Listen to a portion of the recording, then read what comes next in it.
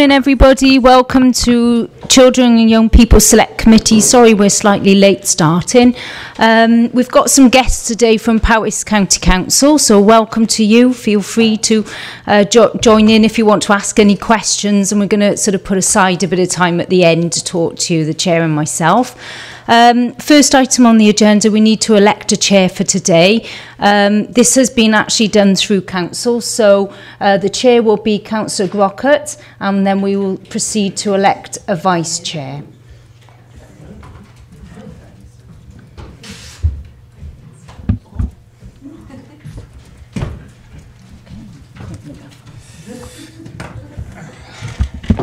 Hi, thank you very much. Uh, the next item on the agenda then is to appoint a vice chair. Are there any nominations for that? Councillor Laura Jones. Councillor Laura Jones, seconded by uh, Councillor Woodhouse. Are there any other nominations? The dream team carries on. uh, thank you, colleagues, for, uh, for your support. It may not last till the end of the meeting, we shall see. Um, Item three uh, are apologies for absence. Have we got any apologies? Yes, we have apologies for absence from uh, Dr Annette Daly and also from Keith Plough. Uh, right, uh, before we go any further, if we could just do our usual introductions for the millions who are watching on live streaming. Um, and, and I'd like to uh, extend an invitation to our, our, our uh, two uh, guests from, from Powys to introduce yourselves as well. You just press the little button on your mic and you get the full glare of the camera as well as the microphone. But I'd also like to welcome you this morning. And, and uh, uh as, as uh, my colleague here said, if, if you want to make a point, then certainly I'd be more than happy to, to bring you into our discussion. So um, my name is Martyn Groucutt. I'm the member for Lansdowne Ward in Abergavenny, and uh, thank you very much. I chair this committee. Uh, Councillor Laura Jones, now Deputy Chair, thank you, um, and uh, Councillor from Wisham. Hazel Ilett, uh, Scrutiny Manager. Wendy Barnard, Democratic Services. Will McLean, Chief Officer, Children and Young People. Ruth Donovan, Assistant Head of Finance for Revenues. Hi, I'm Mike Fowler, Parent Governor Representative. County Councillor Maureen Powell, Councillor for Castlewood and Abergavenny, and a member of the committee. I'm Jo Watkins, Councillor for Caldicot Castle Ward and a member of the committee. I'm Hannah Jones, Youth Enterprise Manager. I'm here to present a report today.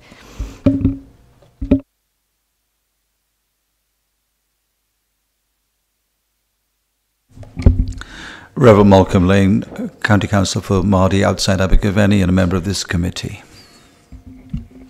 Louise Brown, County Council for Shirenewton Ward and member of this committee. Nikki Wellington, Finance Manager for CYP.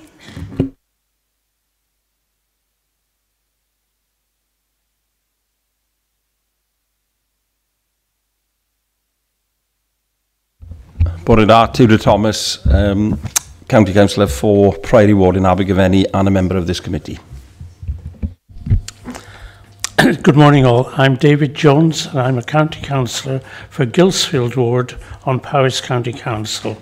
And Powys has recently had a very critical report of its children's services and I'm here from, I was one of the scrutiny members to see how you do scrutiny and hopefully we can improve our position from what we learn. Thank you very much indeed. We, we will do our best to behave ourselves in that case. Thank you very much and good morning all and obviously contrary to popular belief I am not from Powys as a previous member uh, of its august council I'm delighted to be here today uh, accompanying David because I'm working doing some work for the WLGA in respect to the children's services issues in Powys and so this is part of a number of meetings where Powys members are coming along to see just what good scrutiny looks like. Many thanks Chair. Councillor Val Smith, Llanbadoc Ward, observing. County Councillor Roger Harris, Croesonen Ward in Abergavenny and observing this committee. Thank you very much, everybody. Um, declarations of interest. Uh, there may be one or two today, certainly in the context of the ALN review. If, if I make any comment, as a, uh, I'm also a, a governor at King Henry. Um, but, but if it's necessary, let's make those declarations uh, rather than just assuming at this point that we're going to speak. Councillor Harris, you want to, to come in? Thank you, Chair. Uh, yes, uh, declaring a, a personal interest. I'm uh, governor of Deri View School, that is uh, uh, an active part, if you like, of the uh, ALN review. Okay. Um, agenda item five is the public open forum. I don't think there are any members of the public who wish to address committee this morning. Okay, fine. Um, so, uh, item six then is the confirmation of the minutes of our meeting on the 17th of May. Uh, firstly, are they an accurate uh, reflection of our meeting? Uh, and are there any matters arising that members would like to bring to our attention? In that case, would somebody like to propose their acceptance? Councillor Woodhouse, seconded by Councillor Thomas. Thank you very much indeed. Um, the first of our reports this morning is agenda item 7, and that's a report on care leavers and, and council tax exemption. so uh, if we could move on to that item, who, you're going to lead that? Thank you very much indeed. Thank you very much. Good morning, everybody, and thank you for inviting me along to your committee. Um, you have before you a report that is due to go to Cabinet now next week with regard to exempting care leavers from council tax. The report seeks to exempt all care leavers up to the age of 25 from paying council tax, and the recommendation is to award 100% discretionary relief to all carers, sorry, care leavers aged between 18 and 25 residing in the county of Monmouthshire. With regard to some background to this, this was something that um, started to be, be debated around October 2017 when Torfaen County Borough Council became the first uh, council in Wales to decide to exempt care leavers from paying council tax. Since then, there's been various discussions at various levels, um, and we were hoping that the Welsh Government would actually provide a general exemption across Wales for this the care leavers. However, this hasn't come about, um, and the Welsh Government are pinpointing the current legislation that we all work to for each authority to implement their own scheme. This is essentially the purpose of, of this report to seek approval to extend relief to care leavers from both Monmouthshire and other local authorities. So that's taking it a little bit further than some of the other authorities have chosen to do. If I could draw your attention to bullet point 4.4.2 um, on page 12 of your pack. This outlines the proposals of the relief and how the scheme would work um, from an operational day-to-day -day basis within the revenues team. The, the key points being that the care leaver needs to be aged between 18 and 25, be fully exempt from paying council tax on any other basis. Discounts would be awarded um, to the net liability after all other discounts and exemptions have been awarded. Um, the relief will apply to council taxpayers for whom their local council held corporate parenting responsibilities at the time that the claimant left care and who were residing in Monmouthshire and are liable to pay council tax to Monmouthshire County Council. We're proposing that the relief would be awarded from the 18-19 financial year, so from 1st of April 2018. And once a care leaver turns 26, then full council tax would then be fall due. Um, with regard to the resource implications of this, we've worked with um, our own children's services team to try and identify the number of care leavers. And currently we've identified that there's 68 at the moment of which we know that 37 of those are currently living within the county of Monmouthshire. Further analysis shows that um, four of those care leavers are currently liable to pay council tax to the value of just around um, £3,500. So it's not a, a large number of, of people involved. We also have identified that there's a further 12 care leavers that are expected to turn 18 now within this financial year, 2018-19. And if we apply the same sort of assumptions, we're looking at uh, around about another £3,000 likely charge this year. So in turn, we think that would cost the authority about £6,500. At the moment, it's not possible to identify how many care leavers may be living in the authority who have come to us from other authorities. But again, on the basis of the analysis we've done so far, we don't anticipate that to be at a particularly high cost to the authority. So the cost of, of this scheme would fall to Monmouthshire County Council to pay. It wouldn't affect any of the other precepting bodies and it would, would call, fall to the council tax budget essentially. Uh, thank you very much, Mr Donovan. Um, I'd uh, point out to members that this item has actually come to us originally, it was going to go straight to committee. But, but I think it is an important uh, area where, as corporate parents, we can actually show that we do care for uh, young people as they leave care. And you've only got to look nationally at the difficulties that that group of, of young people and young adults have uh, and the struggle that many of them go through once they leave care. Uh, I, I think this is a, a positive step we can make as corporate parents helping uh, people into the world. Uh, Councillor Thomas. Thank you, Chair. Um, I'd like to commend this uh, suggestion. Being Vice Chair of um, Cared for Children, I, I've seen it firsthand uh, over the last year. It's been a huge learning curve. Obviously, most children going into care are coming from quite challenging backgrounds and very disruptive lives. And when they leave that protection uh, at 18, when they in effect become adults, I think anything that we can do to mitigate the difficulties that they've faced, and in reality, it, it, it's a small gesture, but, but I think a very worthwhile one.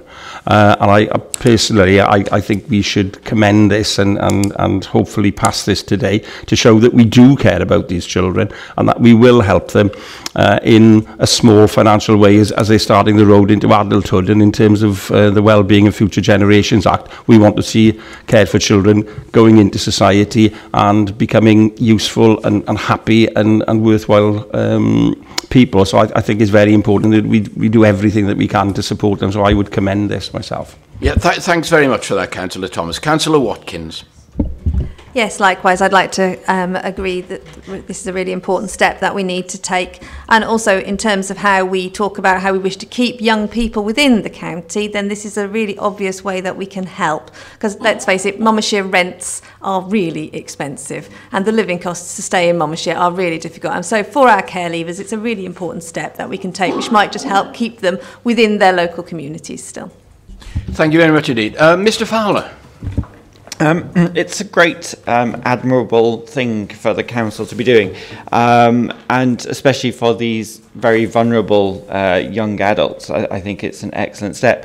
Um, it's interesting to see that Torfaen uh, were the first um, council to do it, and this scheme seems to be a little bit wider in its scope, which is another good thing. Um, I just wonder what our other neighbouring counties are doing as well, and how we stack up against that. it's a bit of a mix at the moment. We know of nine other local authorities who have recently introduced a scheme.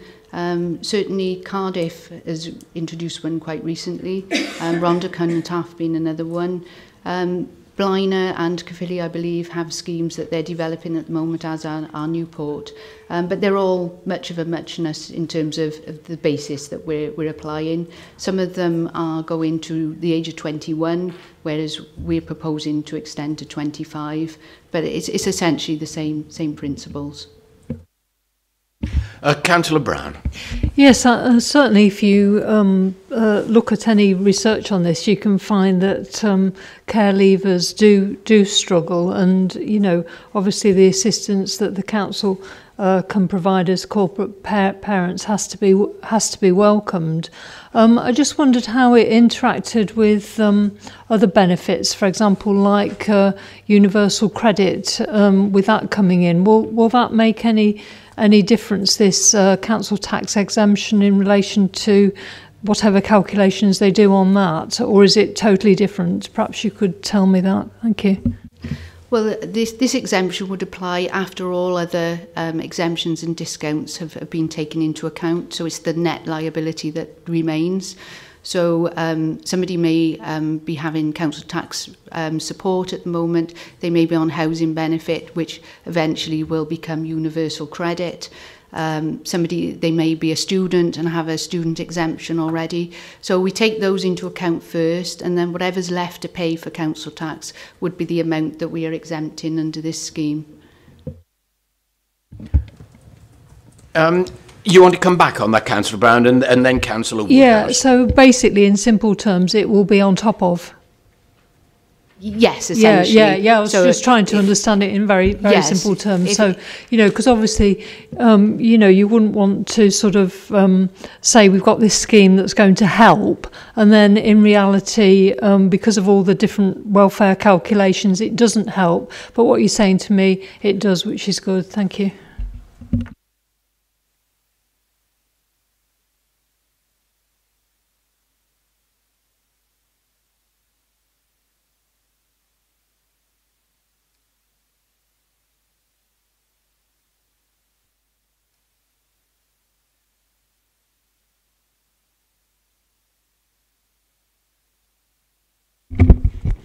Okay, right. It's good to see other authorities are moving in the same direction as us because I do support this. I think this is a good move. Um, am I right in thinking that people from other authorities that move into Monmouthshire are exempt as well? It, it applies across the board to everybody living in Monmouthshire.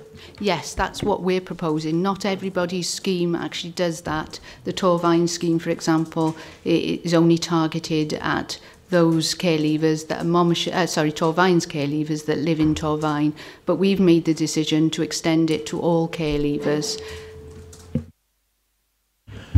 Okay, any other final comments before we move on? Well, I I think this is a very easy one for me to sum up from the chair then. We've got a good news story here, uh, a scheme that every, every member uh, of this committee who's spoken has been in favour of it. Uh, we commend it, we thank the officer for bringing the report, and we wish it well when it gets to Cabinet. Uh, and, and I think it's one of those stories where you can actually think, isn't it good to, uh, to live in Monmouthshire? So thank you very much indeed. Um, if we can move on then to our next report, which is agenda item 8, which is um, about uh, a renewal of the NEET reduction strategy. NEET, of course, not in education, employment or training. Um, our previous strategy has expired and we have a statutory duty to put a new policy into place. At our pre-meeting, we, we uh, raised some interesting points here, uh, but, but all in, in support uh, of young people who find themselves as NEETs. So um, over to you. Uh, yeah, come, come, come up and, and have the full glare of the floodlights on you.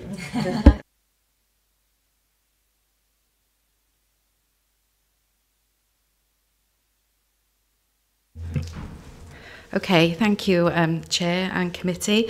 So I'm here this morning to present our Great Start for All, our draft uh, new NEAT strategy.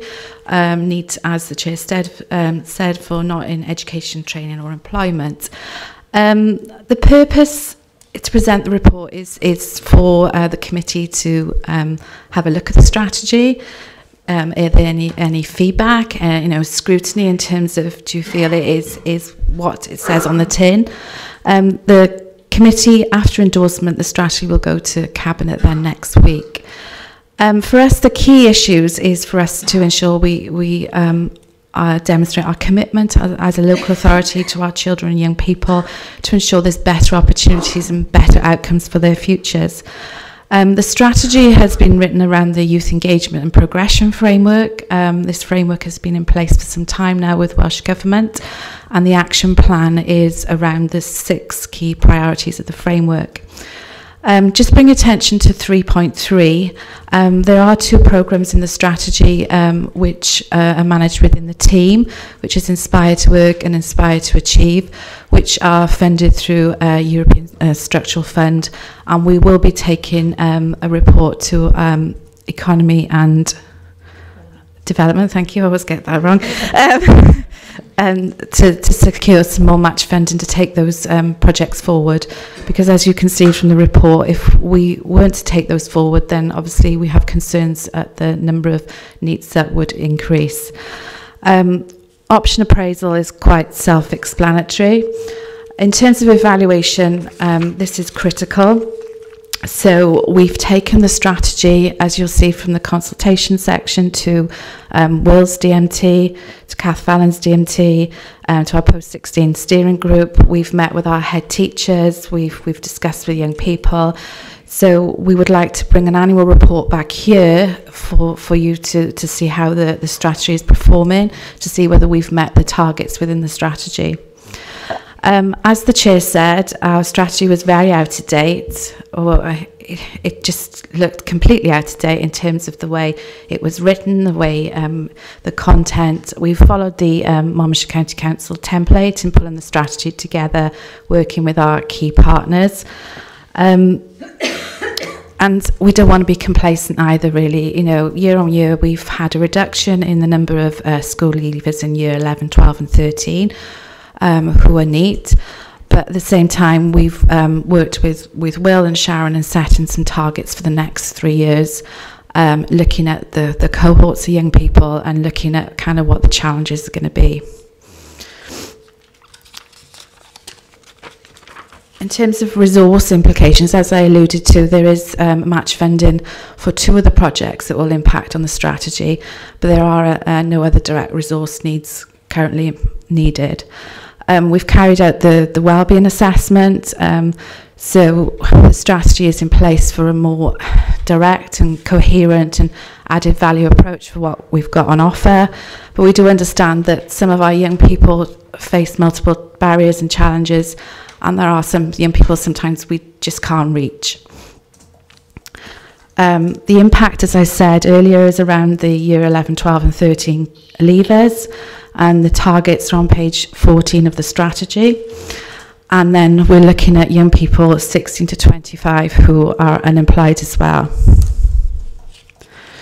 So within the pack is the evaluation, the future generations value, and the actual strategy.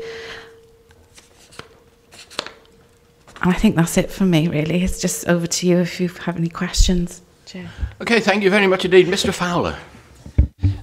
Hi. Um, so you, you said that the previous strategy, the 2015-2018, is um, out of date and it's essential to create the new strategy.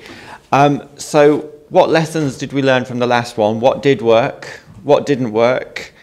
And um, what's new with this new strategy, I guess, uh, as kind of a, a start of a 10? Um, if I was being totally honest, I felt the last strategy was quite fluffy. It wasn't direct, it didn't have set targets in it. I felt that perhaps the ownership wasn't on some of our partners in a sense where we've written it in terms of actions. We've engaged with our partners more on this, we've engaged with our schools.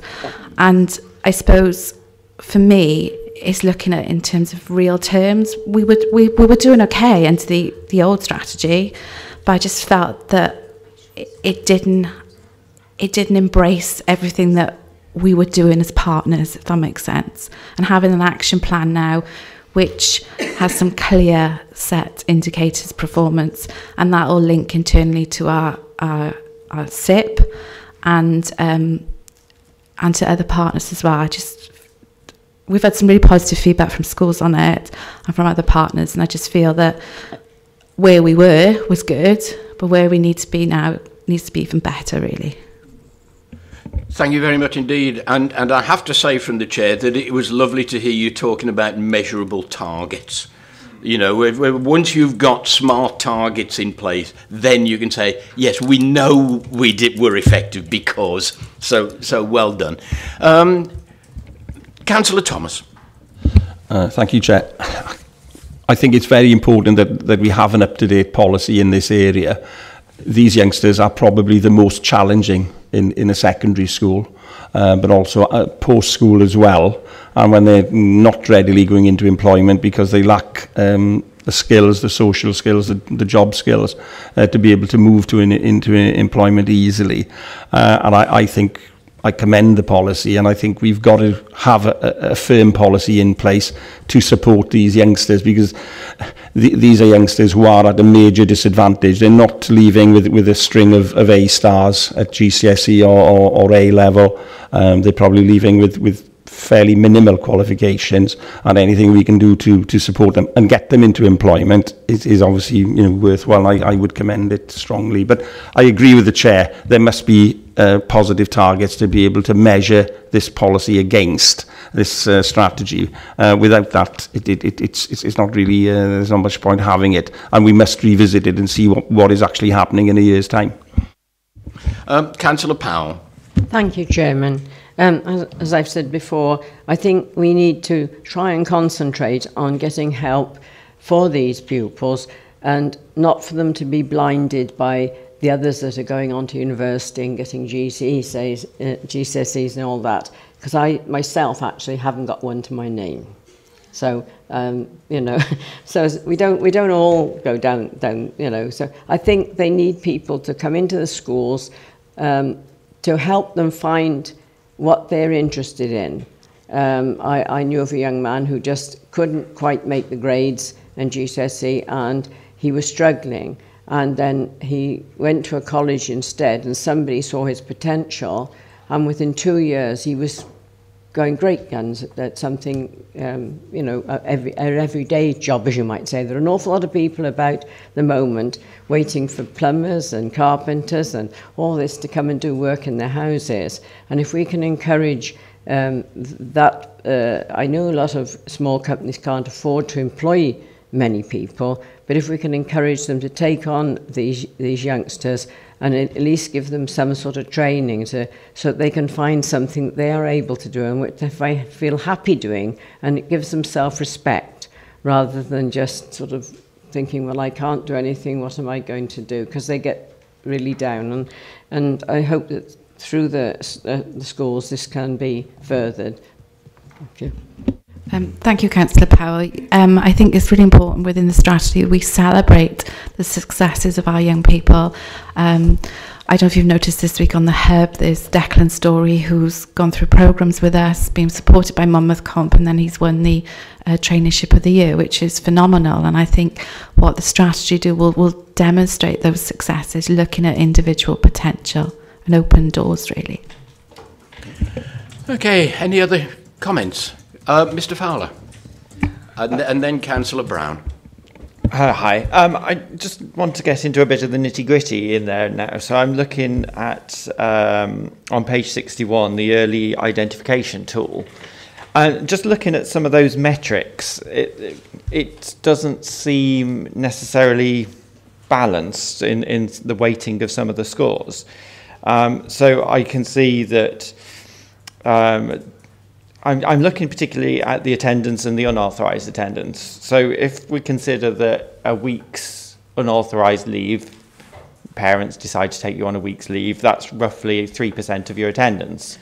So that already gives you a score of three on the metrics. Now, if that child also happens to be an ALN child, they've scored five already and they're already at some risk. Um, and there could be absolutely nothing in that because it could be a child from an affluent family going on a skiing holiday who is autistic. Um, and so you're already identifying. So it seems that the unauthorized attendance is skewing the figures quite wildly, as opposed to some of the other metrics where we're looking at move school twice. Well, yes, that is going to have an impact on their education, or English as an additional language. Well, that could be. And then looking at the attainment of their um, qualifications, that's hugely impactful. But the attendance, although important to attend school, it seems to be getting higher weightings and would seem to skew uh, the tool a bit. It, it just looked a bit of a concern. Um, thank you for picking up that, Councillor Fowler. Um, we've we've run this tool now for um, a number of years. And what, what happens, we, we run the indicators, and as you say, we've, we've kind of scrutinised attendance, behaviour, and looking at whether it reflects what, you know, the, that need of the pupil for their intervention through the programme with us. So it, the, the data set goes, is, is shows us one area of that pupil and what's going on and then what's key is the conversations we have with the schools then whether they need whether that pupil does need a further intervention picking up on, on what you've said, really. You know, we, we've, we've trialled it, we've looked at other models, we've looked at good practice. Um, each authority in Wales does it differently, which doesn't help sometimes. Um, but we feel the tool is working, and if you speak to our secondary schools, they would, they would probably say the same at this current moment in time. Any further points? Uh, Councillor, oh, sorry, I, I, I'd call in Councillor Brown and, and then Councillor Jones. Councillor Brown. Okay, thank you. Yeah, um, I think that uh, looking at the policy, it obviously it covers um, 16 to 24 year olds, and um, in terms of the indicators on page 61, um, it obviously seems to be. Um, uh, based on, um, you know, in a sense, a captured audience in terms of the schools, because you can find this data fairly um, easily, and it's obviously sort of the 16-year-olds who are um, in in more need because of various factors. And um, you know, I appreciate that the priority has to be uh, towards those who um, are more in need of of obtaining uh, employment.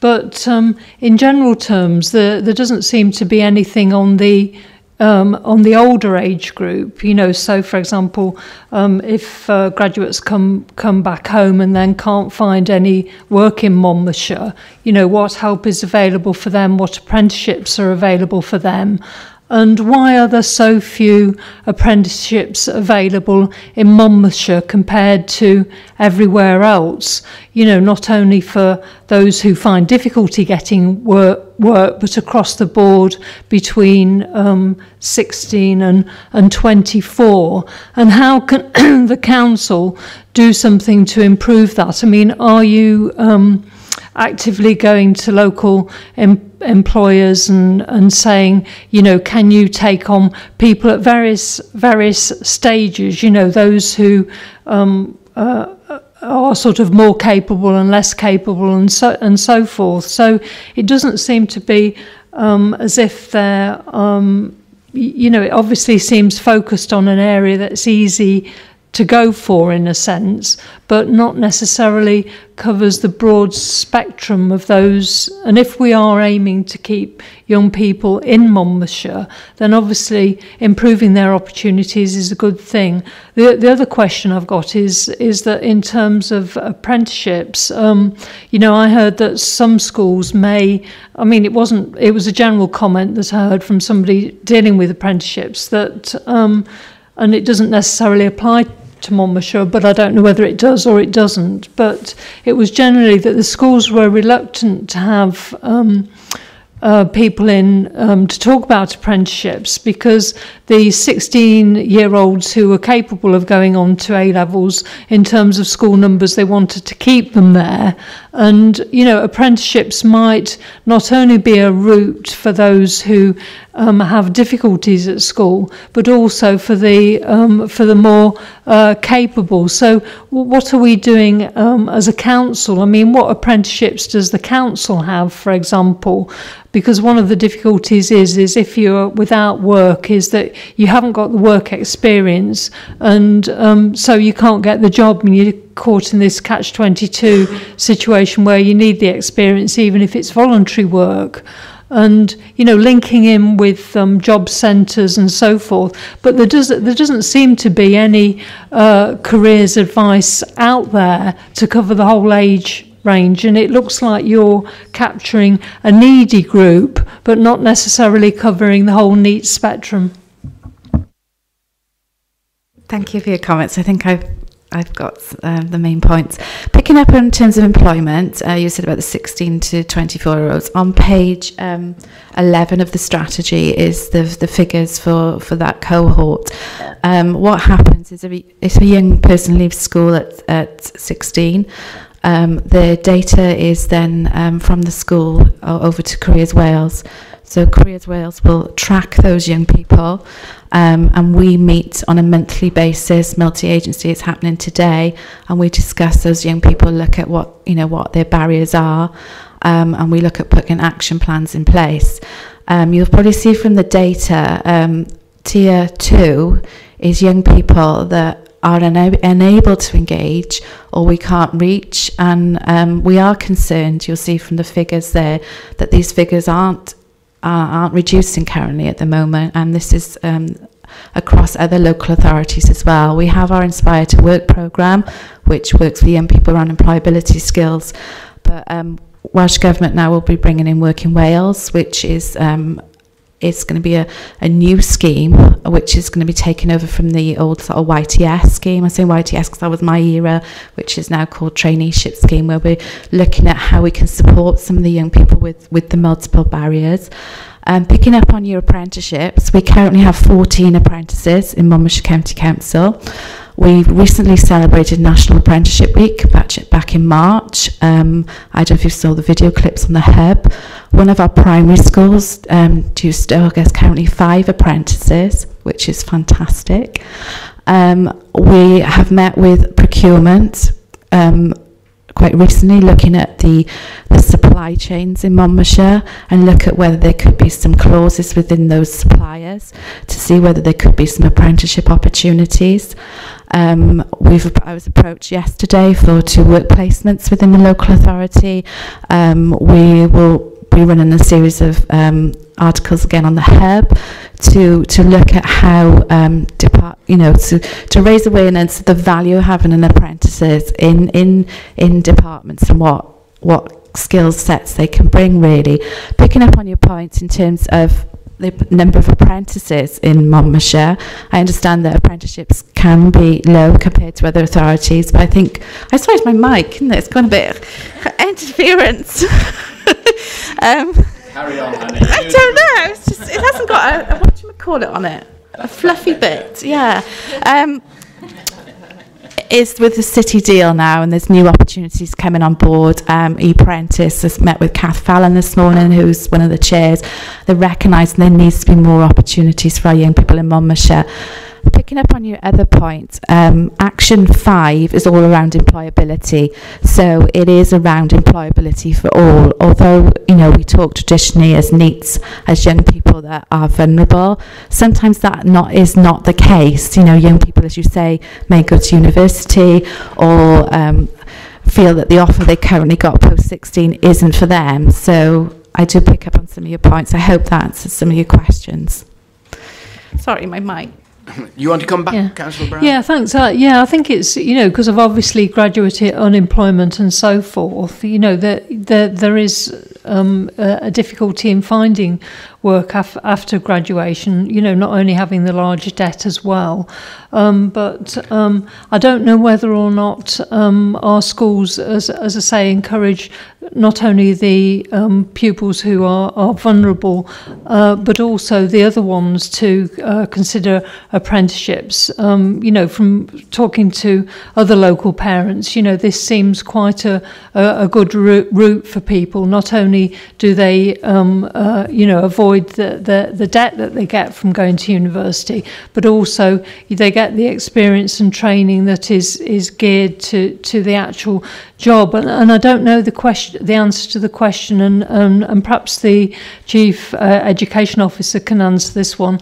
Um, how welcoming are the um, schools to talk about apprenticeships, um, not only in relation to those who are leaving at 16, but also those who may be thinking of, um, you know, going on between uh, 16 and, and 18 to A levels, so that you're talking about sort of the more traditional, um, basically earlier um, sort of A-level training uh, scheme that was, you, you know, more in place um, previously, but um, you know had the advantage of um, uh, obtaining local work for for for local um, youth. Really, thank you. Uh, thank you, Councillor Brown. Um, we've discussed this with the four secondary schools. I've also discussed it with the principal of Coleg Gwent um, about how we broaden um, uh, students' uh, kind of range of expectations and where they think they might look to go, um, both post 16 and post 18 in school.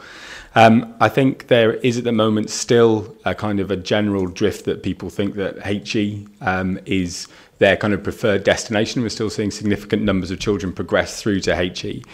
Um, I think one of the things which has been really interesting is the extent of competition for those high level apprenticeships.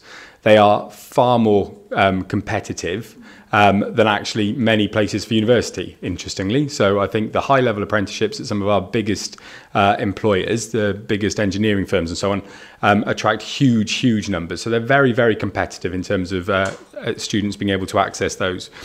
Um, it is something that we'll continue to look at. Uh, it's a key part of the City Deal agenda, identifying those future industries and identifying the types of skills that students need now and able to, to access those as well. So it's a key part of the considerations that we are engaged with with the four secondaries and with Guy um, and colleagues in Coleg Gwent. Thank you very much. Uh, any further comments or questions? Uh, Councillor Jones, yes, sorry. Uh, thank you. Um, Looking at Appendix 3 and the figures that are quoted for 2018, 2019 and so on, am I assuming correctly that 2018, 2019 are the current year 10 pupils in schools? And then we go down to year 9 and year 8? Yes, the um, the year is is yeah the yeah, academic year. Yeah, yeah. Right. So so in that case, then uh, to point out to fellow councillors that these pupils are being supported from year eight in order to, to help them achieve um, uh, qualifications, training, and to mm. avoid becoming a NEET. Mm. So therefore, there's a, an, a reason and um, a need to congr congratulate all the staff in schools in carrying out the work that they do with pupils in order to set them on the right track. And there's unfortunately still a small number of pupils in single figures, I think eights and nines, that are falling through the net. But um, it just goes to show the level of disaffection and probably trouble that these pupils are experiencing in falling through the net and uh, the effort of the schools is paramount in trying to avoid that and um, it's uh, one of those pluses that schools don't get credit for I believe. Thank you. Okay, thank you.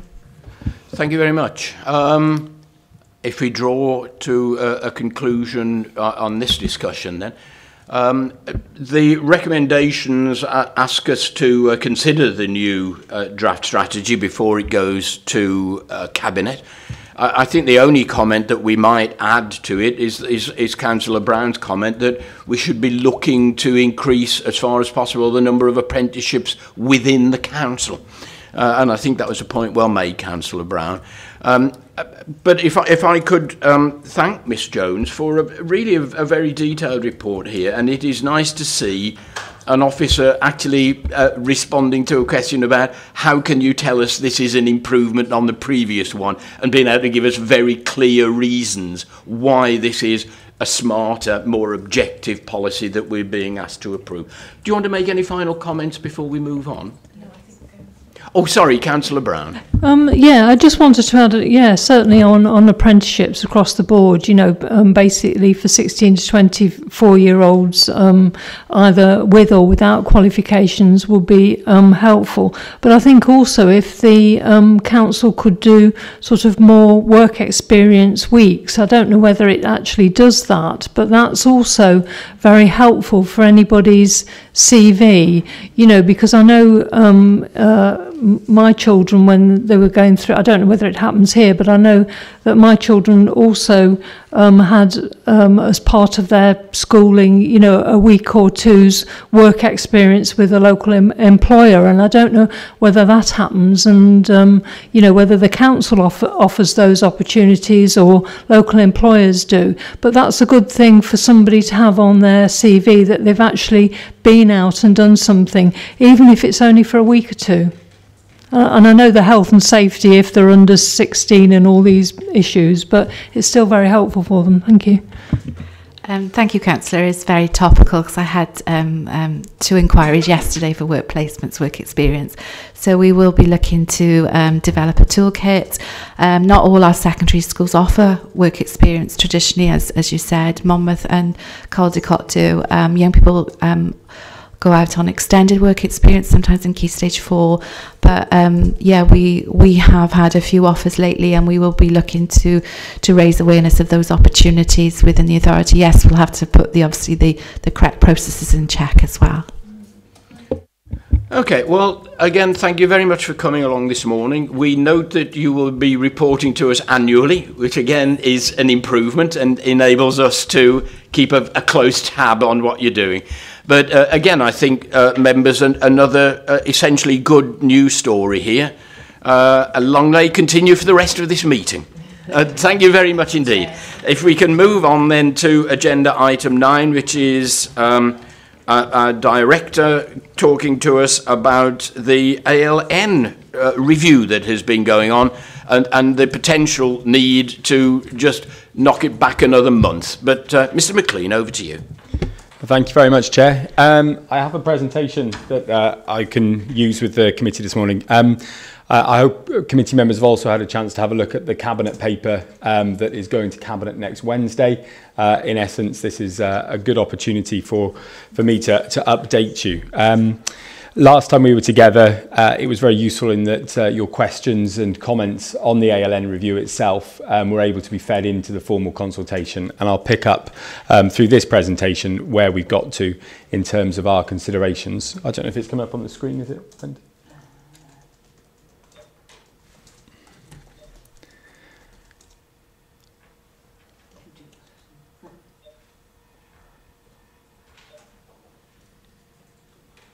Oh, you have my emails, um, which is probably not what you want.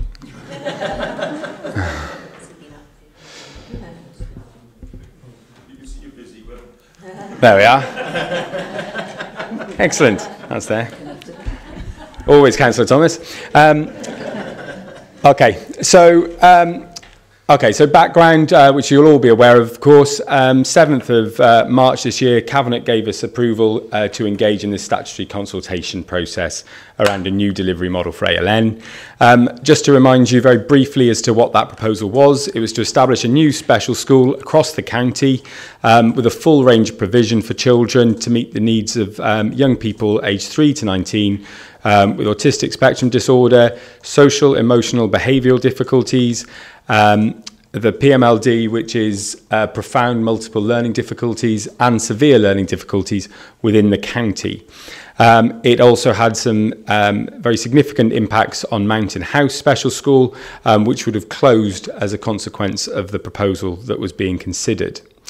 Um, furthermore, the new special school would offer provision um, for a wide range um, of students, meaning that children would be able to have their needs met locally. Um, that was really important to us. Um, and we would be in enhancing and developing the support that uh, our pupil referral service was able to, to offer to children who were at risk of exclusion. Uh, in terms of the engagement process and in terms of the consultation, um, it started on the 16th of April. Um, it ran for the statutory six-week period. It concluded on the 27th of May. Um, and all of the statutory consultees were uh, targeted um, and provided with access to all of the consultation documents. So it went to everybody, um, all of our neighbouring authorities, um, authorities who place children in our schools and so on. So the whole kind of gambit had the opportunity to respond. We also um, did face-to-face -face consultation and engagement events with children and young people, um, with staff, with governing bodies and with parents. Um, and we did that in all of the schools that were affected by the proposals. Um, and those were those uh, uh, uh, nine schools there, which are on that slide. Um, they were, in some instances, very well attended, in other instances, not so well attending, um, depending on, I think, what parents in particular perceive to be the, uh, the challenges um, of the changes for the, their children. Um, uh, but uh, was very grateful to uh, the the, the warm welcomes we received from all of our schools. Um, staff really keen to be involved and understand the, the changes and so on. Uh, it's worth remembering that there's really significant change with regards to additional learning needs um, with the new Act now in place. Um, the really significant development, though, will be the publication of the Code of Conduct, um, no, the Code of Practice, I want to stop getting those muddled up, uh, the Code of Practice, which will be published uh, in autumn this year. So that's, um, that's when we will see very clearly written down what the change in expectation is in terms of the way that uh, children with additional learning needs are supported. Um, in addition to those um, face-to-face events, we did receive extensive uh, written responses, so 39 written responses, um, 13 from parents, 7 from staff members, 6 from governors or governing bodies, um, depending, uh, 12 from different organisations, some of those representative, um, the Welsh Society for Children um, who are hard of hearing and so on, um, but also um, important bodies such as um, Estyn and SNAP. And SNAP is the organisation that acts as advocates for families whose children have additional learning needs. So they're really important that we have them on board.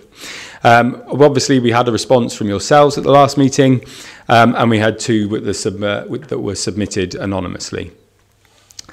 Um, so what did the feedback tell us, which I guess is the, the crunch point of today's discussion? The, the consultation um, did identify a, a wide range of positive views about the changes that we were proposing. Um, and on balance, um, the evidence was that it was more um, in support of the new model than it was against it. So I think that's a really positive uh, piece for us to take from the, the exercise, first of all. However, um, as with any properly run consultation process, it did identify a range of questions that we need to address um, if it's to be successful in the future. Uh, and that comes to the kind of the key point that the chair has alluded to, uh, in that we are going to we are going to ask Cabinet um, next Wednesday if we can have an additional month, which will allow us the full period of the summer, plus some extra time with the schools in the uh, very early part of the next term uh, to reflect on some of the things they told us, so that we're not just pushing on blindly with our suggestion, but actually we refine that and amend that to make sure that it's fit for purpose um, for what the schools think. So, um, just in first up in terms of the positives, um, very clearly coming out um, the the the inclusive aspiration um, of the ALN review came out as a very clear positive.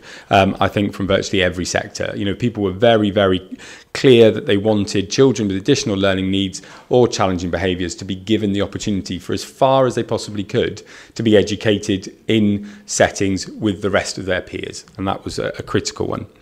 Um, the enhancement of support to schools through the delivery of on-site inclusion centres um, was seen as a good thing. We are quite often, um, particularly for our secondary schools, um, uh, there's a concern that um, there's a bit of a, a cliff edge in terms of our support in terms of children who are at risk of inclusions. So the schools are expected to do an awful lot with children to keep them in school, and then suddenly there's a step then into um, kind of PRU supported um, learning. What this offered us was a kind of a really good position whereby the school would have very clear expectations in terms of placed upon them by us um, through yourselves um, in terms of our expectations of what children um, should expect from school, but what school should expect of children in terms of behaviour. When that reached a point, it would allow um, them to be taken from the school setting but remain um, within that environment, as it were. So there would be inclusion centres within each school um, that would take the pressure off the school and would remove that kind of that whole piece which is around um, them becoming a barrier to other children's learning, which is often one of the key kind of critiques, um, but would be a, um, a position short of full engagement with the pupil referral service. So that was uh, very positively um, um, received. Um, the third point is around um, the fundamental aspect around early intervention. It is the key tenant of the new Act that children's needs are identified as early as they possibly can be, that really effective teaching and learning strategies are put in place to support those children, and that that therefore means that those needs should not become greater and more acute um, as time goes on. Um, We also recognise that we will have to invest in our mainstream teaching um, staff because they will have to do more in the classroom under the new Act. So that was really important.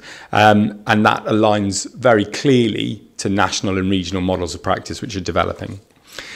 Um, and the final point was this notion around us not keeping in kind of separate silos um, children who have got additional learning needs and children who have got um, behavioural needs. Um, very, very often, um, well, in fact, in every case, I would suggest, um, children with very real challenging behaviour have that because of either an underlying um, additional learning need that might not have been identified as yet, um, because what people see first of all is the presentation of challenging behaviour and not what might actually be behind it, or trauma in early life. Um, and that will be the cause of what's presenting. And I think we've got to recognise actually that uh, how children um, what children experience at home, in their community, and so on, has a very, very real impact on how they behave when they get into the school situation.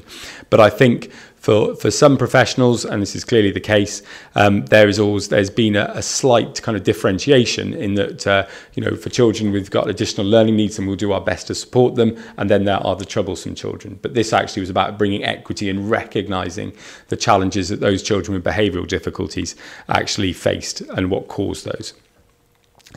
However, and it would be completely um, wrong of me to kind of infer it wasn't the case. There were some negatives uh, in terms of the feedback, uh, and we have to reflect on those. So, in terms of the negatives, um, the first one, and it came up everywhere we went, um, was that there was a concern for staff in the existing settings about how the management um, interface would work between the special school um, and the mainstream school. Um, that's a very fair question to be asked. Um, we were very clear with all of the schools that actually there would have to be an extended period of joint working so that everybody knew and understood and designed protocols and procedures together so that those wouldn't be issues. Um, but as I say, it was a very fair um, comment um, from colleagues. Interestingly, um, during the um, consultation period, I went to meet uh, a former colleague of ours um, who's now a head teacher in a special school in Newport, in Maes Ebbw. Um, she was talking about the way that Maes Ebbw works uh, with regards to the schools in Newport, but she also was reflecting on a school in North Wales um, where there is um, a satellite unit of a special school within um, a mainstream secondary school and how that model works. Um, she was saying that model worked very well in North Wales. Um, so it's not impossible, but I think we need to take a little bit of time just to reflect on that and make sure that we're not asking our professional colleagues um, to do something which is unworkable. The second point um, was regard to the equity of our proposal. Um, the, as we go forward with education in Monmouthshire, we will see ever more clusters being the basis of much of the work. So I've no doubt we will be back uh, in front of this committee to talk about the uh, the rollout of um, the new curriculum very near in the very near future. Um, clusters will be the mainstay of that development. Um, one of the critiques that came back was that even though we had a mirrored north and south provision map, we didn't have it, um, there wasn't an equitable split across the four clusters. So for instance, in the north of the county, both of the SNRBs in the proposed map are in Monmouth rather than Abergavenny. So children from Abergavenny are still going to have to travel away from their cohort and their peers and their community to access schooling. Um, now, there are clearly cost imperatives um, and just, well, not imperatives, rather, you know, a cost pressure that would stop us being able to provide in every single cluster. But that was a, a key point uh, that came up there. So, although we're doing it in county, actually within county in a county as big as Monmouthshire could be a, further than an out of county placement and that was something that came back um, we did have um, some questions, I guess, of a technical nature around the designations for some of the um, SNRB centres um, and about whether those centres would be appropriately um, equipped and prepared um, for children. Um, I guess this is at the at the, the kind of the highest levels of need. And if we think about, um, we talked about the um, provision for children with profound and multiple learning difficulties.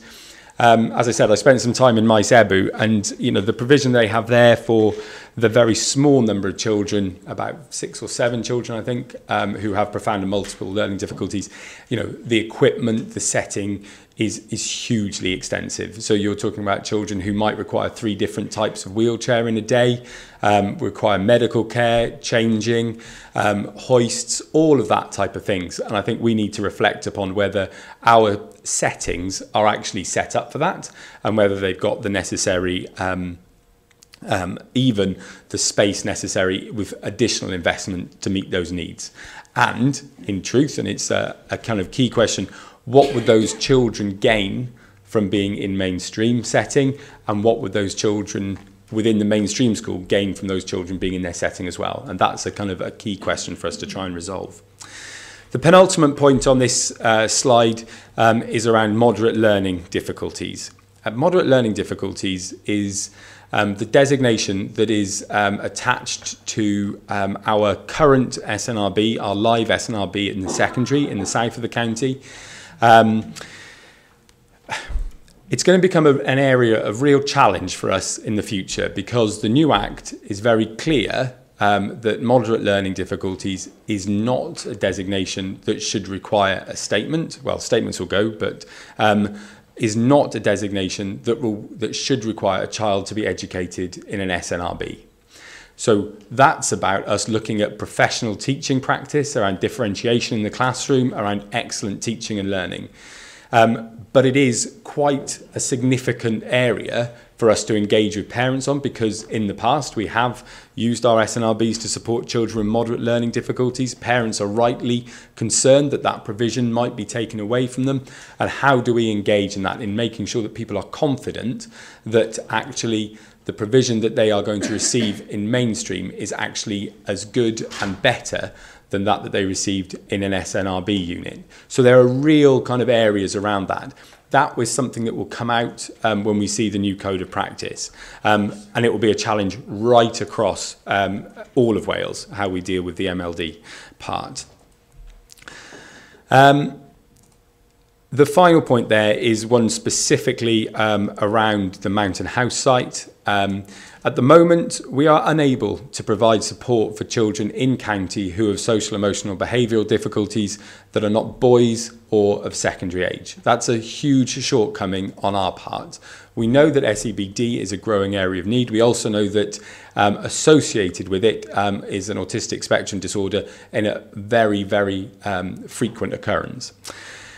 Um, we want to be able to provide um, for all of those children. There were some very fair, practical questions asked of us about how the changes would take place in Mountain House to ensure that everybody was safe and everyone was cared for in an appropriate way. And we take those on board absolutely, uh, and we will look to make sure that uh, that we resolve those um, fundamentally, to me, it still feels wrong that uh, if you're a, uh, a girl who's experiencing um, social emotional behavioural difficulties, um, we cannot provide for you in county. And that's a really fundamental point around equity in terms of our children in the county.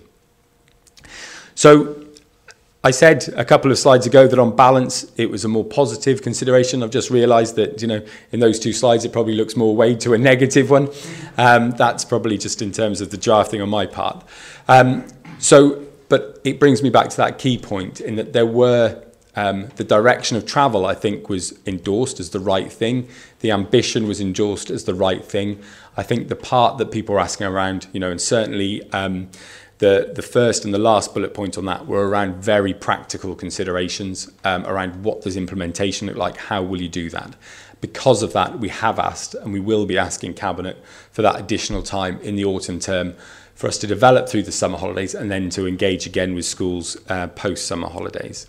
So if I just set out the, the next steps, which I've alluded to throughout this morning's um, brief update. Um, so the informal feedback report, um, it's formal report, but it's informal in the sense that it's not uh, the full consultation report will go next week. Um, within the statutory timeline, the full consultation response, which is i.e. all of the consultation responses we had and our response to them, um, will be available by the 19th of August. Um, we're then going to take this additional time to reflect um, on some of the things which we've learnt during that period of time. Um, and then we'll report back in the autumn um, what we feel should happen um, to Cabinet. Um, and as I say, that final decision, rather than being on the 5th of November, will be on the 5th of December. I'm happy to take any questions there might be, Chair. Uh, thank you very much, Mr McLean. Uh, two points from the Chair before we, we kick off. The first is that uh, I would ask members not to go back to basics and make points about uh, the type of provision we might make because we did that at our last meeting and it was good to hear Mr McLean saying that our deliberations had been included in the paperwork. So, so we've done that. We've had that bite of the cherry. Uh, the second thing is that uh, some of us here are members of governing bodies who have been consulted and, and therefore I think to be absolutely clear if we are going to make a comment, we need to declare a non-prejudicial uh, interest as a, a member of a governing body. We, we've had one already for a review, but uh, I would say only if you're going to speak could you, at, at the start of your comments, make that declaration that you are a member of the governing body and it is non-prejudicial. Um, one sm small comment, uh, a question fr from the chair, and then I'll throw it open. Uh, your slide there, it, it, it talked about on balance the, um, the, the, the views were, were positive. Well, well, 51.49 is on balance, and we've seen elsewhere that uh, that actually makes uh, for things that are far from easy. Where are we? Not being specific, but how heavily balanced were, were the positives and negatives?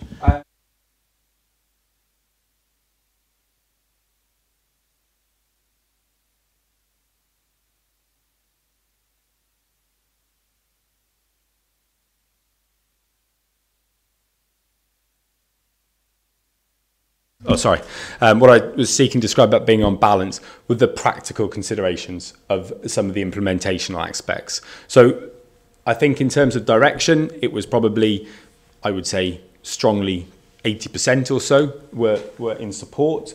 Um, and interestingly, some key bodies, so Snap Cymru came back very positively in terms of support. Um, however, it's, for me, it's about managing that expectation around the direction of travel being right, but making sure that implementation happens in a, in a positive and constructive way that means we take everybody with us. And that's the balance we're trying to reflect. Right. Thank you. Uh, members of the committee, uh, Mr Fowler.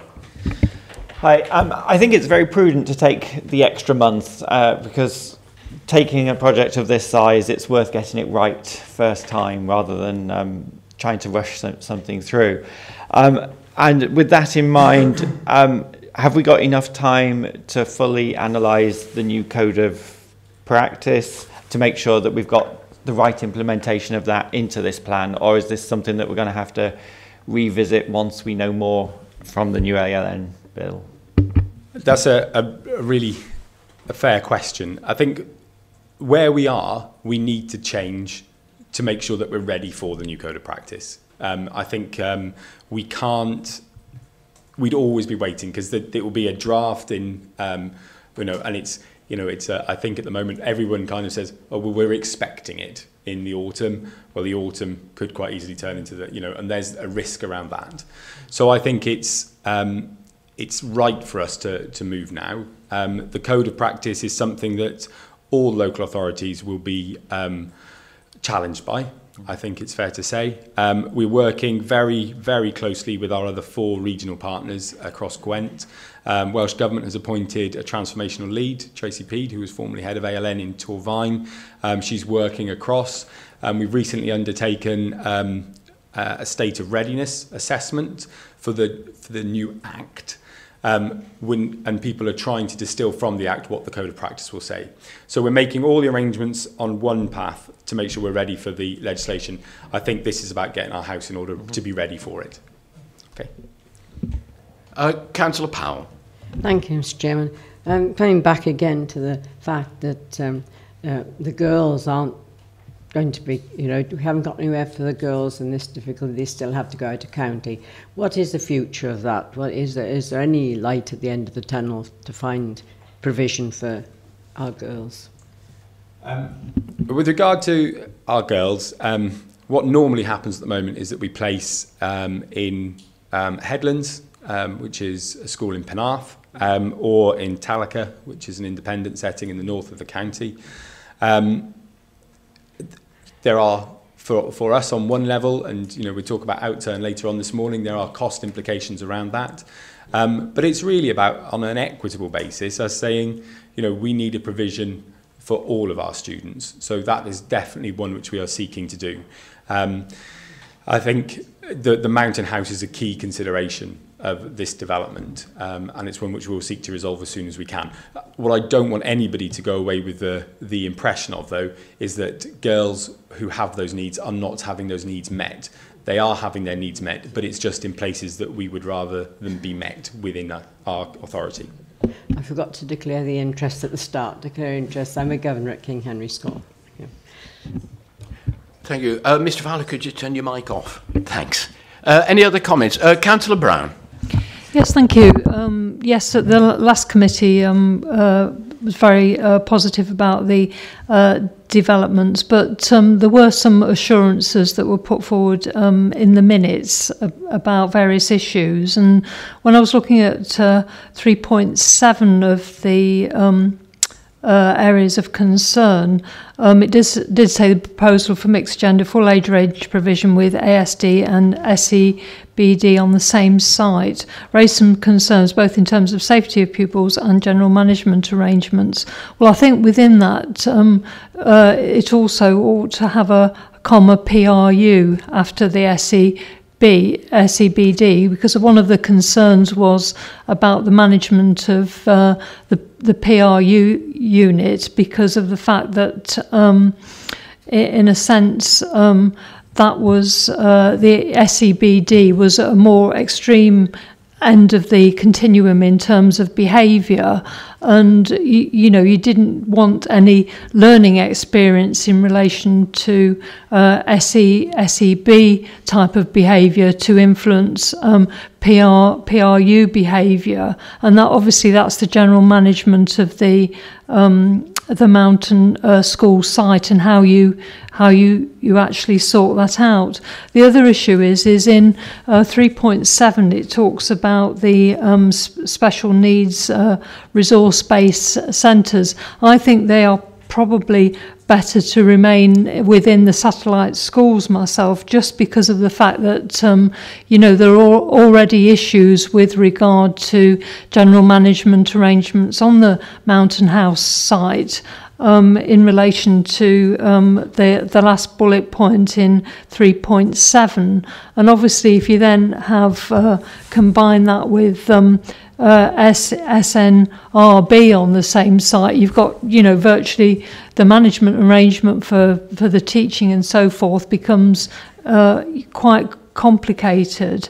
The, the other issue that um, I wanted to um, ask about was that you mentioned that you thought that um, ASD and SEBD, which is um, autistic spectrum disorder and social emotional behaviour difficulties, how they were often combined, but presumably they aren't always combined. And I don't know what percentage of pupils do have both, but um, I have been told that, that there is a difference in the type of um, teaching that you give um, the, the different sorts of pupils. Um, just to take a very simple example, um, uh, apparently, uh, if you told uh, uh, an ASD pupil to go and join this uh, school bus and it was issued as a, a type of order, you wouldn't necessarily get the right response. They may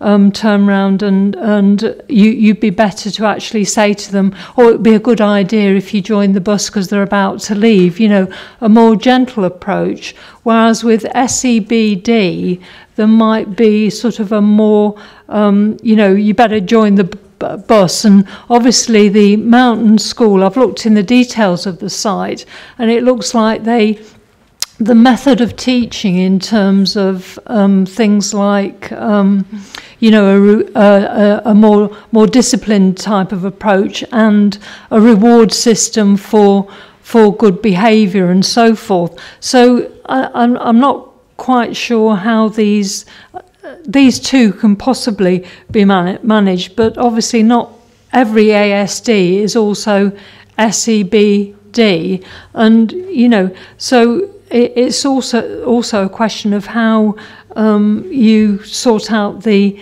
not only the general management arrangements, but also how you sort out a more complicated teaching arrangement. And really, in this, I'm talking about what what is um, you know best for the for the needs of the pupils that you're actually dealing with. And obviously that must be you know in in terms of pupil welfare that must be uh, uh, you know a, a primary education uh, concern. Councillor Brown, could, could I interject slightly and just say this is the longest question I've ever heard I think. Could could you could you just Yeah, make the point uh, and, and let let our director respond? Yeah, it's just just a very uh, to to summarise is just um, about um, the general management arrangements for the different needs, and also the um, question about um, keeping the the neighbours aware of what's going on, because I think that's something that we was mentioned when I went along to the evening at Mounton House School. So uh, sorry if I've gone on a little bit, but I suppose it was trying to explain to the um, perhaps people who haven't heard of I mean I'm not an expert in this but I, I do understand that there are some differences in approach with the different type of pupils that you're looking at Thank you, Councillor Brown. I think you're absolutely right um, to recognise the fact that um, you know the the site itself will will require some careful consideration about how we manage that site, and we'll have to be very aware in terms of the range of uh, of needs uh, that are within that site, and that's absolutely right, and that's um, part of that management. Um, your your point around ASD and SEBD is is right to a certain extent, I guess, um, in a sense that there will be children um, in our mainstream schools now who have um, are somewhere on that spectrum, because that's what uh, um, the the S is is around, and they will cope brilliantly in mainstream school, and our mainstream schools do a tremendous piece of work with those children. There's no question around that. Um, what we're talking about here is that there are a group of children and an increasing number of children who have a diagnosis, um, so a professional um, diagnosis of SEBD and ASD. So we wouldn't be talking about children who had a singular diagnosis of ASD being then placed into the setting that we're talking about creating in Mounton House.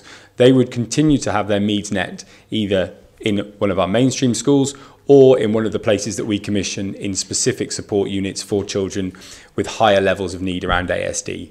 So that wouldn't be an issue. So this isn't um, a kind of um, all one size fits all into that place, and that would be entirely wrong.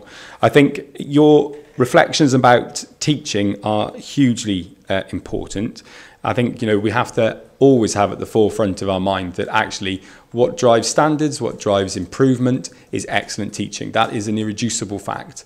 And it's been really positive to see the work that Mounton House have done on adapting and changing their curriculum model to make sure that their students can actually access the curriculum to a far greater extent than in other places. And I think that's been really positive. Um, so you're absolutely right that we think about um, the management in a very clear way. That's why I've referenced it in one of the key concerns that came back out. Um, but yes, as well, the teaching aspect is important. Councillor Watkins. Uh, sorry. Yeah, just a, a quick question. Could you explain then why um, this uh, last bullet point in 3.7, why that was made? Because it, it seems as if what you're saying is you're only talking about ASD combined with SEBD, but this doesn't seem to be clear in the sentence. So I didn't, this is why I raised this issue. Thank you. Councillor Brown, where are you referring to 3.7? Sorry. Y- yeah, sorry, page the last bullet point um, on page 68 under 3.7. Sorry, 3.7 of? The Ah, cabinet paper, yeah. Ah, right, okay. Yeah. Um, okay, I'll, I won't do that now because I haven't got that in front of me. So let me have a look at that and I'll come back to you if that's okay. Okay, Councillor Watkins. Thank you. Um, so, in your presentation, you mentioned about the children with moderate learning difficulties and the fact that they're not going to be met in the SNRB settings any longer, and that you said that this is going to be in line with the code of practice, which obviously we haven't seen yet. So, um, and then you referenced um, needing for communication with parents to reassure them. So I'm now just a little bit confused as what are we planning to do for our children with moderate learning difficulties? Because we're now talking about removing them from the specialist help that they've been getting and saying that they have to manage in a mainstream classroom. With excellent teaching. But I am now just worried that we're going to be letting down those students. In terms of, you know, I think we, we, what we need to do is to be really clear about what a child's needs are. We need to understand really clearly um, where they have gaps in their skills and so on, and what support they might need to do um, to improve those. I think what has been difficult is that we've ended up in a position whereby, however we try and describe this, it ends up in a very black and white perspective. So um, I'll try and describe a situation whereby um, children are supported in the mainstream um, and in a way through excellent teaching in the first instance, but through also um, some small group provision where children can be taken out and given additional support in some areas and so on. Um, but for other parts of the curriculum, might be able to meet those in the full cohort. That seems to be then put, um, portrayed against a position whereby they are given 100% support in a base um, away from the mainstream. And I suspect that the truth actually lies and the right provision actually lies between those two. And there will be a sliding scale of support for children who have got moderate learning needs um, that goes from um, uh, kind of children who need to spend more, much more time in small group provision and so on, to children who can cope for the vast majority of time in um, a mainstream group with just some additional support. Um, I think we need to find a better way of describing that to people so that they are comforted, I think, by the fact that this is not about us um, on whole scale saying we're going to change what that unit is for um, and suddenly we're just going to move a group of children who have enjoyed and been supported um, in a very, very kind of um, full way previously into a set. And I think one of the comments um, and one of the questions I had from parents in one of our secondary schools was this notion around um, you'll take my child who's been very kind of carefully supported and nurtured in a small group provision and put them in bottom set with naughty children. And that's, you know, we that, that's something we, we've got to move. That kind of language We've got to move forward. We've got to get to a position whereby everybody understands actually that the provision of teaching is as good as it can be, no matter what set you're in, that behaviour is managed effectively in the school setting so that it doesn't become a disruptive influence on other children seeking to learn. But when children have got specific needs around some specific skills that they're seeking to develop, they always have the ability to have that resource there. I think one of the things which will happen as we take this period of time to reflect a little bit is that we'll be able to present um, a more nuanced and a, um, a picture in terms of what it will look like. I think our recognition, I think potentially that for children who have got profound and multiple learning difficulties, actually, you know, well, firstly, the numbers in Monmouthshire are very small. Um, so actually creating an infrastructure in, for them in our two schools would probably not be an efficient use of funding. So actually, you know, for them, their best place may still be out of county. And we were always very honest and upfront around the ALN side that for some children out of county would always be the, the best place for them.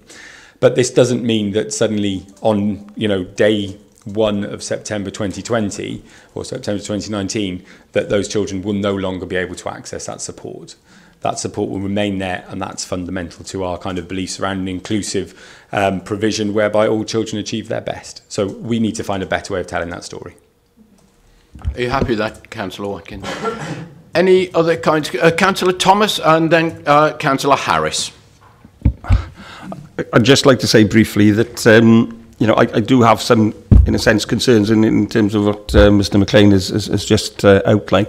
In terms of teachers in mainstream, of, of having children you know, with particular needs there, it, unless they've got very good support.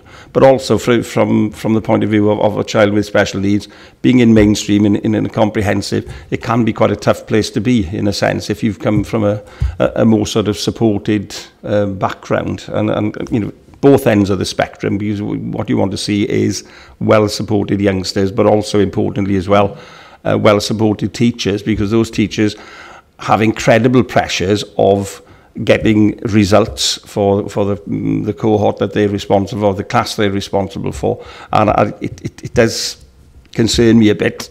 I've not taught for quite a while now, but I, I did teach for nearly 20 years in in, in quite challenging uh, schools, and that that does concern me somewhat.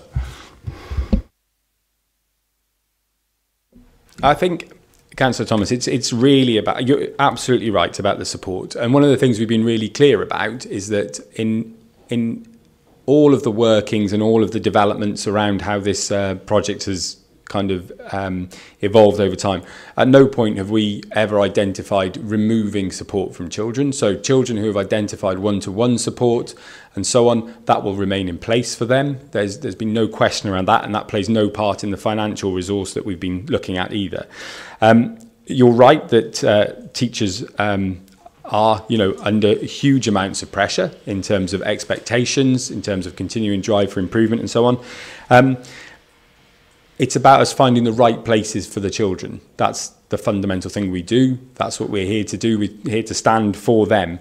And I think the key part for us is finding the right things. So it's about all the time thinking around what those graduated responses look like, be it behavior, be it ALN. We've got to find those. So for, you know, if the graduated response for behavior is very easily seen in that you know you have expectations around classroom management around pastoral support then potentially around inclusion support before PRU um, and then you know the potential of a kind of a special school provision around SEBD um, for ALN children it should be around excellent teaching. It should be around differentiation in the classroom. It should then be around additional support additional interventions. And that's how we should begin to understand that. And that clarity should help both teachers and students achieve everything they want to. Thank you, uh, Chair. Thank you for letting me uh, come in. Just to reiterate, I am a, a governor of Deri View School that's got a, an SR at NB. Um, so just to reinforce that. Uh, I've only just, well, I haven't read the report, I only just got it this morning, so if I step over the line inadvertently, I hope you'll uh, bear with me. Uh, basically, um, we we know uh, that it's good for children with additional learning needs to stay within the community if that is possible. Um, but I know uh, from experience that it can sometimes take months and even years for a child with um, ASD or what's the other one, SE BD to be diagnosed. Meanwhile, that child is within a school environment, and as I say, it can be there for years, and uh, such children can be uh, uh, very uh, disruptive. So I wonder what um, Will has in mind for speeding up uh, diagnosis of because uh, uh, that's critical. You know, if they're not diagnosed, then they're uh, in mainstream, and that then comes back to. Um, uh, leaving the moderate learning difficulties within um, uh, mainstream.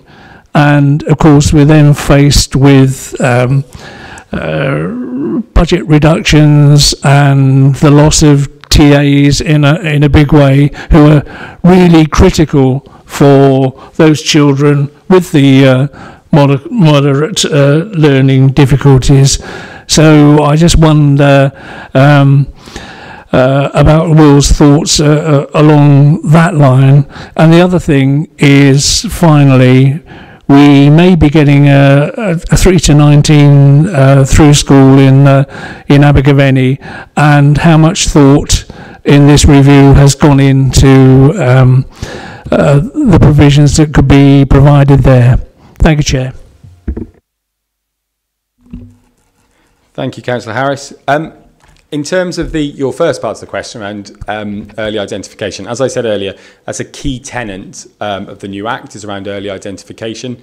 Um, we have in the proposal the creation of two early assessment centres, um, which will be staffed by um, specifically trained, and Deri View would be one of those sites. Um, that would enable children to come from their school into that assessment centre for a period of time, probably between four and six weeks, where they would be able to be observed on a daily basis by professionals to assess what their needs might be.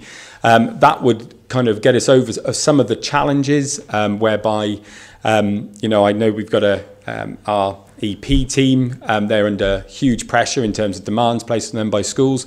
Um, but very often, you know, they could go out to a school to see, you know, child A um, who has been um, behaving in a certain way or struggling with some learning in a certain way.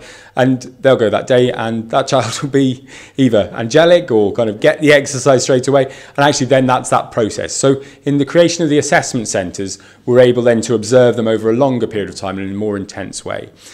One of the other key changes is that the statements will go as a part of the, the introduction of the new Act. The IDPs, which replace them, um, have a much um, tighter timeline. Uh, they need to be completed in 10 weeks as opposed to 26 for a statement. So actually that's a huge kind of pressure onto us. Um, and I was grateful this year that the um, uh, that the cabinet recognised that pressure um, and afforded us additional resources to prepare for that. And there's further um, identified pressure within the budget for the following year uh, to make sure that we're ready for the introduction of the new act. So that's absolutely right. Um, with regards to the new school, um, yes, it's a key consideration. We're just in the very early stages of thinking what that looks like. Um, but um, it's my expectation at the moment that whatever SNRB type provision is currently in the Deri View setting would transfer into the new school and that would be provided for there. Um, the budgets, you know, at the moment, what we're trying to do is to keep as many of our children in the authority as we can. That is causing us pressure on our budgets. We'll see that later when we discuss the outturn position. Um, we'll continue to try and keep our children in county. Um, it does have a consequence um, on TAs and so on. Um, and I think, um, you know, we're working very hard to make sure that we can sustain the flow of funds to our schools and that they use that as effectively as they can to support their learners. Um, it's a two-way street with schools in that area. Um, but I do understand the pressures that they face. Absolutely. Okay, we, we just mentioned Deri View School. Uh, as chair, I'm now going to do something quite radical because um, I can see in, in the public gallery uh, we've got the vice chair of governors and former chair of governors at Deri View School. Um, I know you've been involved in, in this consultation. Is there anything you would like to say to the committee?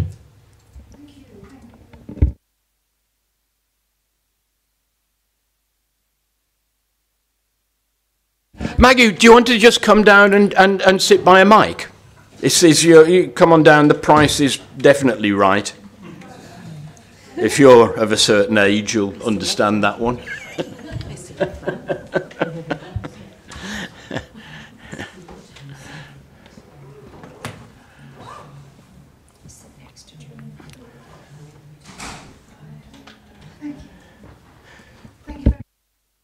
Uh, just press the, the button. There you are. You're live, oh. Mrs. Harris. How alarming. Thank you very much indeed. Yes, um, that, and thank you, Will, for all the consultations and the many visits um, we've had from you at Deri View. We do call upon your time. Um, and I, I apologise for my um, besotted attachment to Deri View. Um, but it's a very special school and in all of the county, we do have an area, we, we are in an area of very high deprivation, the highest free school meals that you've got in the county, very, very specific problems. And uh, I think we're very concerned that we may be in this new process missing a little band of children who aren't quite bad enough to access um, SAPRA's statements, etc who have, there are delays in the diagnosis. Um, we're under pressure as governors to keep within our budgets, do not go into deficit, that is the golden rule. And sometimes the only way you can't go into deficit is actually to release, to reduce your um, teaching support staff. Now, for the very special group of children who do who need not necessarily one to one, which would probably be covered, but are this little band in between who need either special intervention. So we do have very skilled TAs who take six children, four children to do maths or English or something. Um, we are afraid that with the pressures on budget, we will lose more and more TAs. I already know from other meetings that Will and I have attended on the budget forum, there are schools in the county who have no TAs at all. We could not survive at Deri View if we did not have that kind of additional support because of the very specific area that we're in. And so at the point of pleading a special case, but I think it's as well for members to understand there are very specific problems in very specific areas. Um, and whilst I fully support reorganisation, I fully support the closing of our unit, which was not used properly. And we have a going to have an assessment unit on site. We do need to have much more free access, A, for diagnosis, and B, for interaction into the new uh, purple ref pupil referral unit and out again. Quick diagnosis is, as, as Will has said, is the key. And, and sadly, somewhere along the line, it's all going to need a little bit more funding. Where you find it, I know not.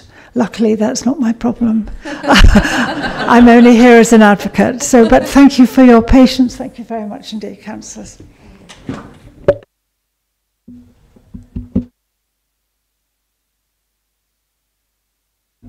I, I think um, Mrs. Harris um, raises some really important points. Um, uh, Deri View is in a, uh, uh, a very challenging um, setting. I think that's very fair to say.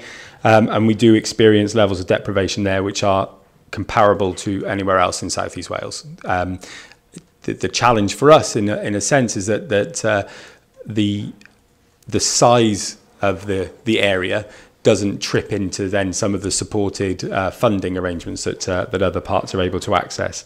Um, I agree entirely with your comments around diagnosis and the speed of diagnosis being hugely important. I think one of the things which we'll see much more of uh, these notions around uh, revolving doors so that children kind of go receive uh, intensive support and then come back into school that will become something much is much more common um, both on the ALN and on the behavioural side um, my personal belief is that um, I think notwithstanding your comments around the teaching assistants and so on, I think we need to think more fundamentally and more holistically about the challenges that that particular area of Abergavenny faces um, if we're to be successful in addressing those in the longer term. Um, but I think in the in the meantime, we'll continue to work as hard as we can with schools to make sure that the support for them is there, and as much as we can, um, notwithstanding external pressures, that the budget is there for them as well. Thank you very much. Um, one thing is, is clear, colleagues, and that is that during our watch on this scrutiny committee, there will be very major and significant changes to the education of many of our children. Um, And, and I'd like to, to thank uh, and congratulate Mr McLean for keeping us in touch as the process has unfolded all the way down the line. Technically, um, what we're being asked for this morning is, is our approval for a delay for one more month. Mr Fowler has already said that that would have his support, and, and nobody has contradicted that. So I'm ta taking that as, as a sense that as a committee, we think you do need that extra month of time because of the number of responses you've had, which I think is a positive sign. Um, so, so um, are, are we happy as a committee that we, we support that? Thank you, thank you, colleagues, uh, and thanks for bringing that, that update to us.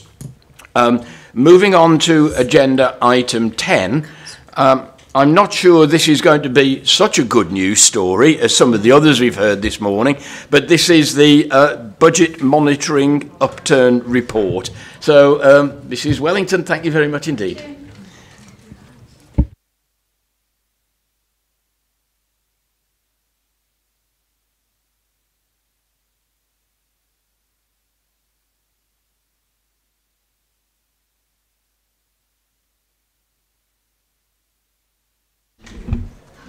Thank you, Chair, very much for uh, um, inviting me today. And to, I'm going to go through the outturn report for the um, year ended 31st of uh, March 2018. Before I start, can I just give apologies for colleagues in Children's Services that unfortunately no one is available today. So while I can give a very brief summary of the um, outturn for children's services, any questions that you have, I, I will take back to them rather than try and answer them myself. I wouldn't want to give uh, any, any information out that wasn't correct. So um, we're turning our, our uh, to agenda item 10 now, which starts on page 129. Uh, if I give a quick brief overview of uh, where we are as a council. So as a council, we were over overall there was an overall, overall underspend of 652,000 which is an improvement of nearly 700,000 at the month 7 report which was the previous reporting period.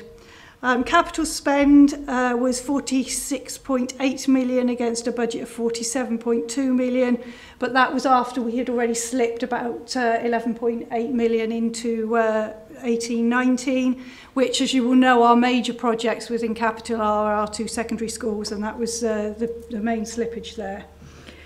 All of the details um, in terms of the over and underspends are detailed in the report in 3.1.2, so I'm not going to go through those in any detail, but they're there for you. Turning then to page 136, which is children's services, and I said this will be very brief. Um, effectively, the overspend has increased by just over half a million to 1.6 million. Um, you will note from the commentary there from the chief officer that this is mainly due to uh, complex um, placements that have happened over the year and uh, agency workforce staff within the uh, within the children's services but you will also note that there has been a reduction in the agency workforce and I believe that um, my colleague Tyrone Stokes has, has um, updated you with that uh, in previous periods. Again, the detail of the spend is under 3.3.5. So, as I said, I'm happy to take any questions back that members might have. On more familiar ground, um, children and young people, on page uh, 137, uh, um, uh, children and young people were 177,000 overspent. Um, this we drew on reserves of 93,000, which related to, as you're aware, we've got service level agreements with our schools for both sickness and for maternity cover within schools. Those schemes were overspent, so we built up a reserve. We brought those back, so bringing that back in, our overspend was, our overspend was actually only 84,000. Um, the details are provided to you in terms of where the individual overspend areas are, but I'll just quickly go through them. So for the individual schools budgets, which is the, the amount that we give out to schools, that was 169,000, mainly due to some transport costs that we've been supporting and support for support for schools for um, exceptional one-off costs that we, we have um, supported during the year. Resources was underspent by 85,000 uh, members again because we'll will be aware that we've been carrying a couple of vacancies um, and we can managed to carry those through the year so that that obviously are, um, added to that underspend. Standards, which is uh, majority of it is additional learning needs, was 93,000 over. The overspend um, within additional learning needs was at 256,000. However, this was offset by savings within management and, and again within some early years um, funding there. Additional learning needs, just in slightly more detail. The out of county provision um, budget was 36,000 underspent and the in county and I think um, Will has obviously been talking about that earlier with our desire to keep more pupils within county and therefore providing additional support. Uh, so that was 292,000 over um, mainly due to resources within classrooms, um, additional support for members of staff. All our savings have been met within uh, the local within CYP. We had a savings target target 395,000, so that's that was all met within year. Just running on now to the schools, uh, 100, page 165 gives all the details of the schools, but if I give a very brief overview, We started the year with, uh, with a surplus reserve of 269,000. Members will also be aware that we came to this committee requesting um, that the fair funding was uh, set aside for one year in relation to the fact that all of our schools were collectively, not all of our schools, schools are collectively were going into a deficit. Um, we ended the year with a surplus of 175,000, so um, we saw an improvement of 730,000 uh, on month seven. Welsh Government provided with us a grant for maintenance at the very end of the year, the end of February, beginning of March, of 345,000, which obviously that contributed to that uh, improvement in school budgets. We had 12 schools in a budget in a deficit at the beginning of the year. We still have 12 schools in a deficit at the end of the year, but they are different schools. I'm pleased to report the ones that came out of deficit as Lanviangle Corny, Chepstow, which members will be very familiar with, now have a surplus of 158,000, and St Mary's. Uh, the ones that have gone into deficit is Our Ladies and St Michael's, Caldecott um, School and Mega School. Of those 12 schools that are in a deficit, four of them are under 20,000, so the materiality around that deficit is, is not, not uh, huge for us. I'm happy to take any questions. Okay, colleagues, there we are. Uh, there are many, many difficulties hidden behind those figures, of course, for individual schools. Um, it, it gets no easier year on year, does it? Um, any comments on where we are now? In that case, maybe we just note that uh, uh, and uh, pass on. Oh, sorry, Councillor Brown. Sorry, Councillor Jones. thank you, thank you for your report, Nikki. Um, it's it's quite a random question, thank, um, but I just wanted to know something from both of you. Actually, school transport for one-off. You noted you said about it for one-off costs. Is that including um, transport for inter-school comp um, sport competitions, for example? Uh, no, no. The um, the transport that I was referring to there is where we support um, our home to school transport colleagues where we're running specific routes that our schools have Right, have, sorry, I uh, just wanted to so know what you were yeah, about. yeah. Sorry. Thank you for that. Thanks for the Right, clarification. uh, my apologies to my vice. What you can't see, members, is that she's kicking me under the table here. Um, Mr. Fowler. Um, hi, um, I just want to um, talk about Chepstow again because it's a favourite of this committee.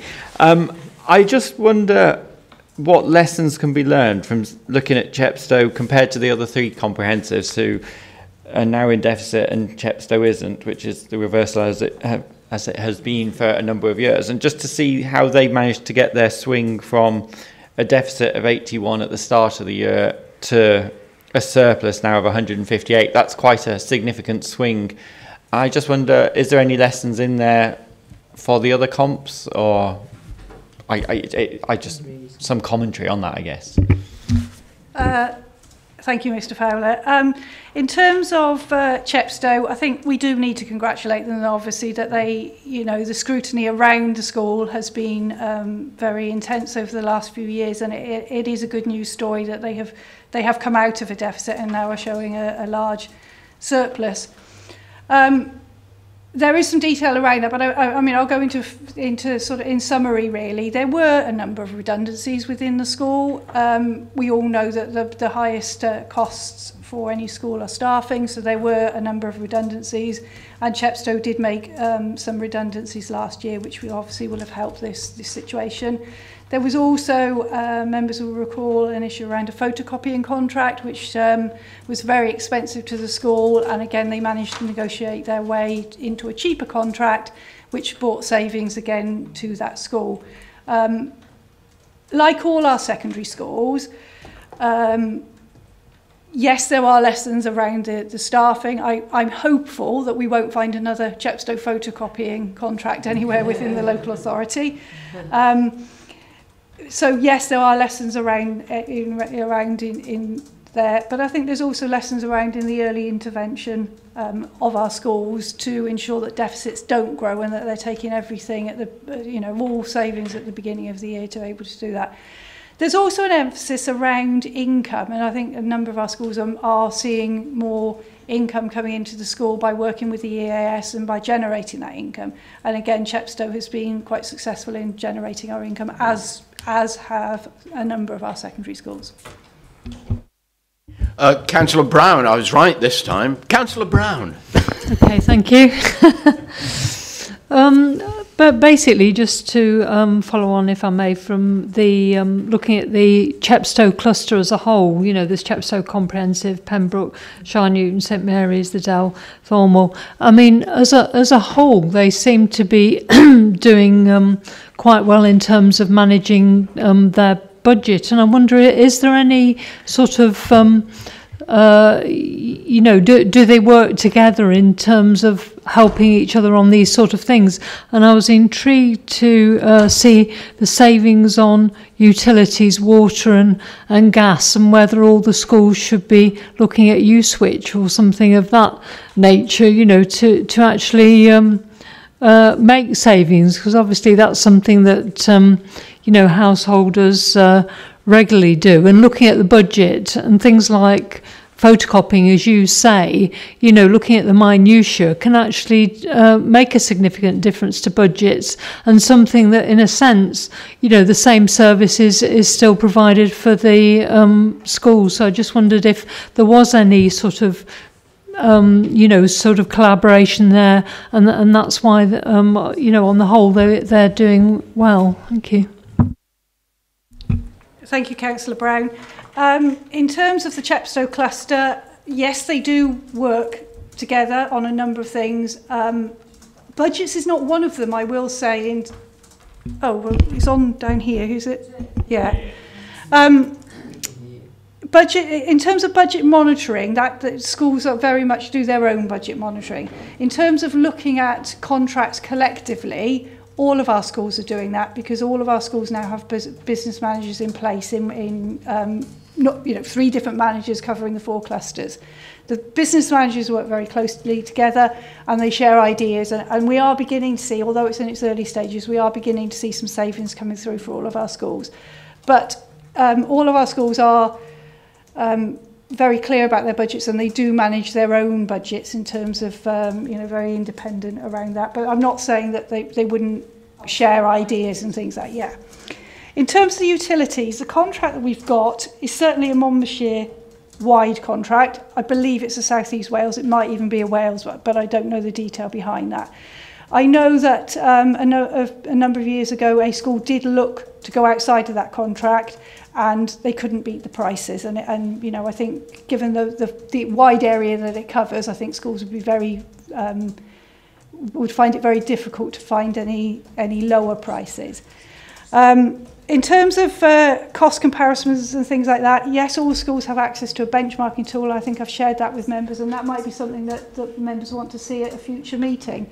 It's very um, It's a very interesting tool and, and although it doesn't provide the answers for everything, it will give you um, ideas of where you can go and seek those answers. So it will allow schools to look across Wales to similar schools and they can choose on pupil numbers, on teacher numbers, on free school meals, etc., etc.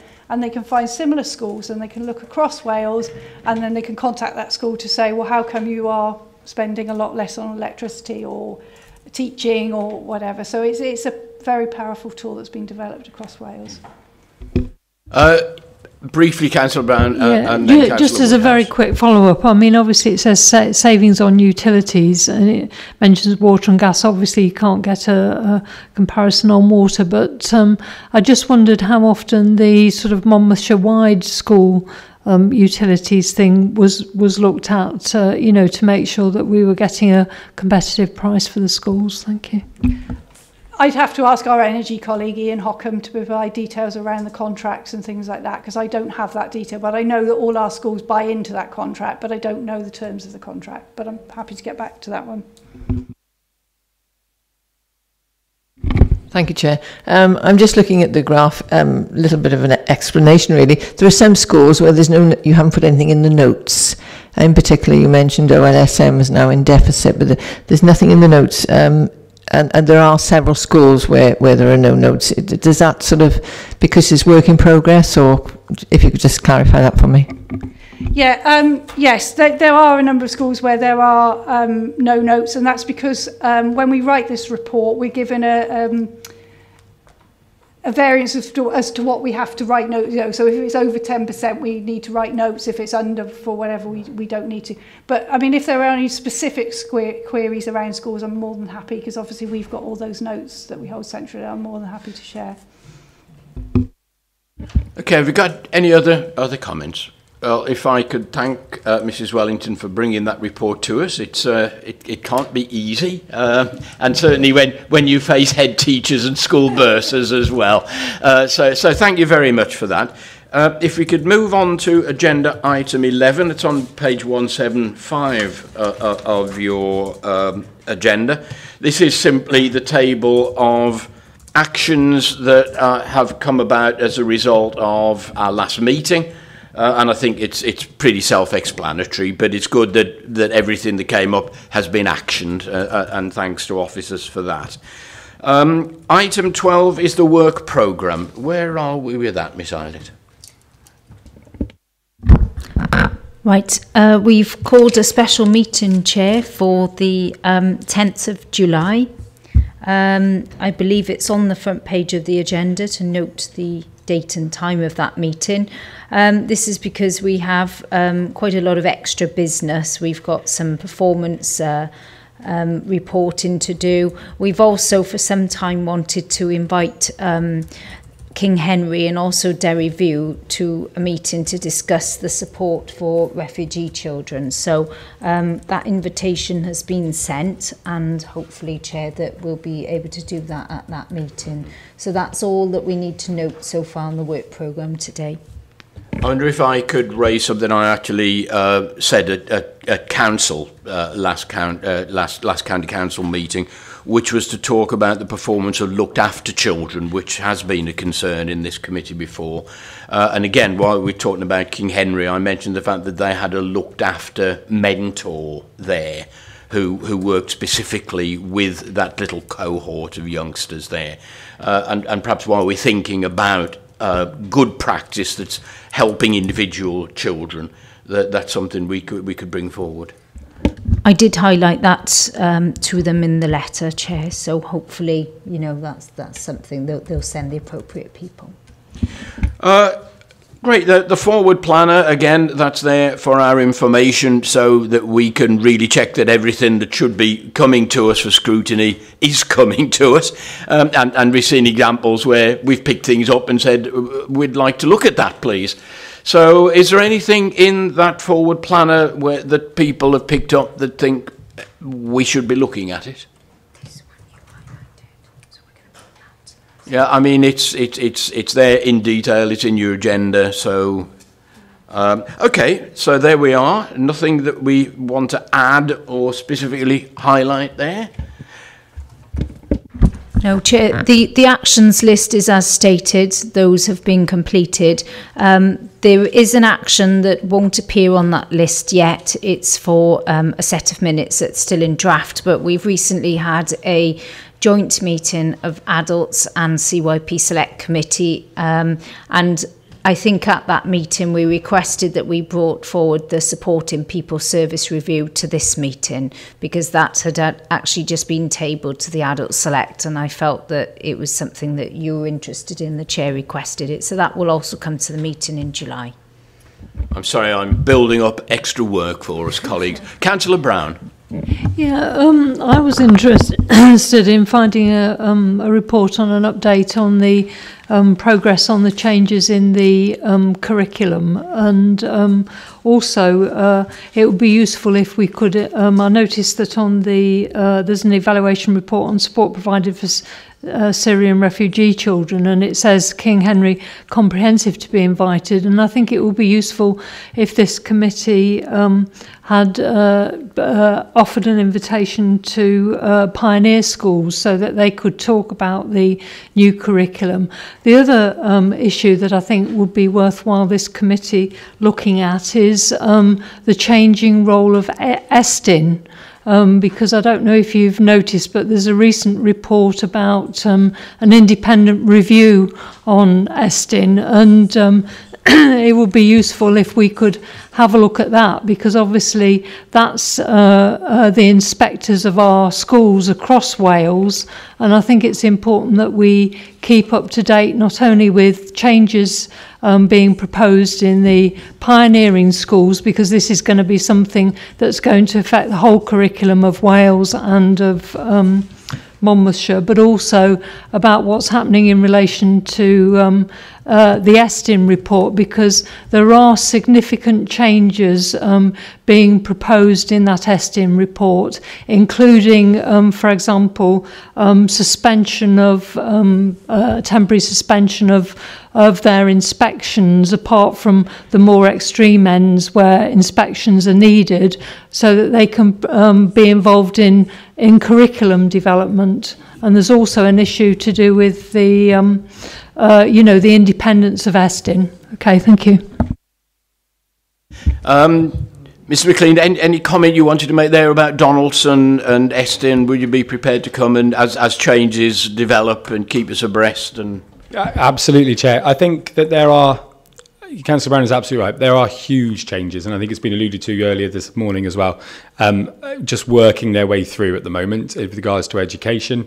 Um, there are some things which will be a challenge. There will be a challenge for me certainly, um, um, and for the way in which we work as a uh, work with you as a select committee. So, for instance, um, where traditionally every year I've come to you and reported um, on outcomes at foundation phase, key stage two and key stage three, and our comparative position um, in Wales and in our region. That will no longer be possible um, from this year on um, because those that information will no longer be collated in that way. Um, the Welsh average will be collated, but nothing else. Um, and there's very, very clear expectation that we do not use it as a comparative piece. It would be my, my slight hesitancy at the moment is that it's still a very fluid position. Um, Welsh Government, um, I was with colleague directors and the managing director of the EAS yesterday.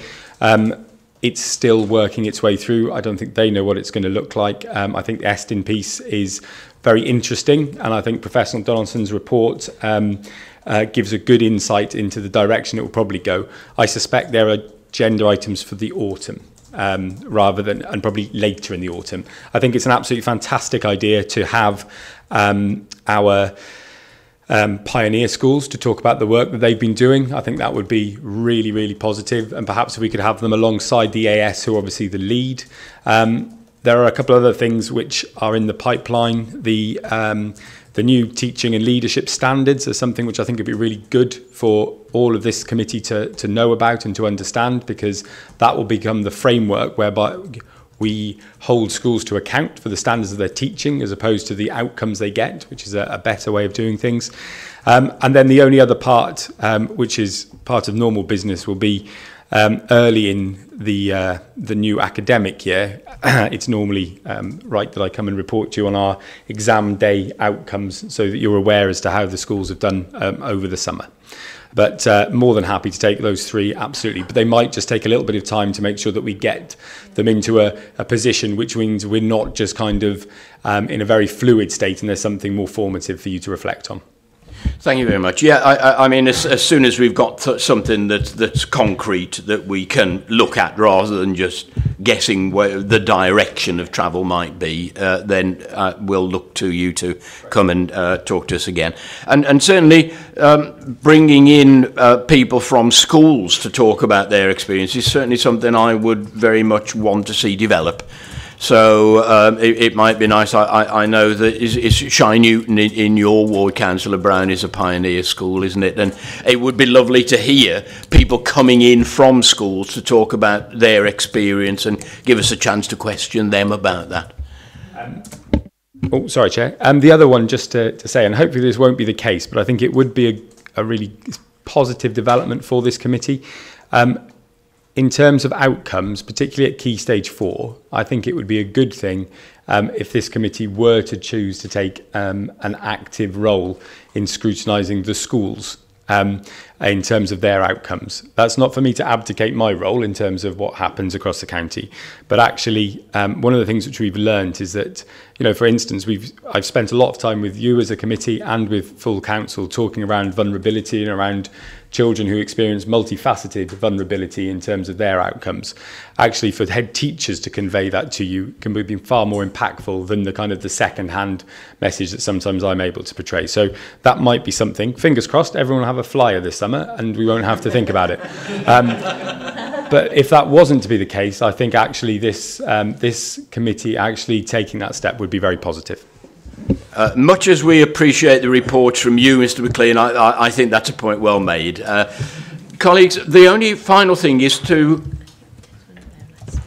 that is to note that um, the scrutiny manager has said we've got an additional meeting now on the 10th of July and to point out that it's at 2 o'clock in the afternoon, just so we're all sure about that, rather than our usual 10 o'clock start.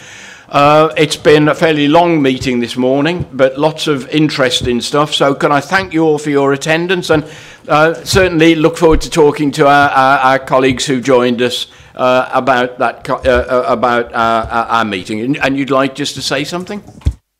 Uh, yes, thank you very much, Chair. It was really just to uh, make the point and commend the Chair on what I've seen as a most enjoyable and professionally held select meeting today. I was the chair of this august uh, uh, select more years ago than I care to remember. Um, having just got the reports as the meeting started, I had a chance to really just scan through quickly what you're going to be talking about today, um, but didn't really feel the need to contribute because I was getting a sense that the members here had read the reports and were really starting to understand and cover the areas that, that, that are important to them. So I've just been uh, a passive spectator today, but, but thoroughly enjoyed the experience. I'm hoping uh, that my colleague David next to me has found it also very useful, and perhaps if he just wants to say a few words to the, the, the committee as well. Thank you, Chair. Thank you, Chair. Um, it's been a thoroughly enjoyable meeting, actually. Um, and I didn't say a word during it, which is unusual for me. um, but I was impressed by the amount of detail that scrutiny members had to read through. They'd been provided, I thought, with very, very full reports, and they'd been able to home in on the critical points, the ones that really mattered. And I was most impressed, really, with the debate about the, um, the review of additional learning needs and the inclusion service, because I think that that's going to be critical, certainly in Powys as well, over the next year or two, as we move from the position we are now to where we ought to be. Because we find that we're spending a disproportionate amount of money on inclusion and not really getting the results that we should get with it. And I think that you know, we constantly say in Powys that it's 120 miles from north to south, and it um, and it reaches from the uh, uh, from the Dovey estuary to the Shropshire border. That it is a, a big lump of land, and we've got two special schools, and the amount of time that we spend transporting children in an area like that away from their natural community concerns me, and I don't think we're getting the result. And I think it's, it's sort of cleared my mind a bit listening to your debate today, and I thank you very much for that, sir.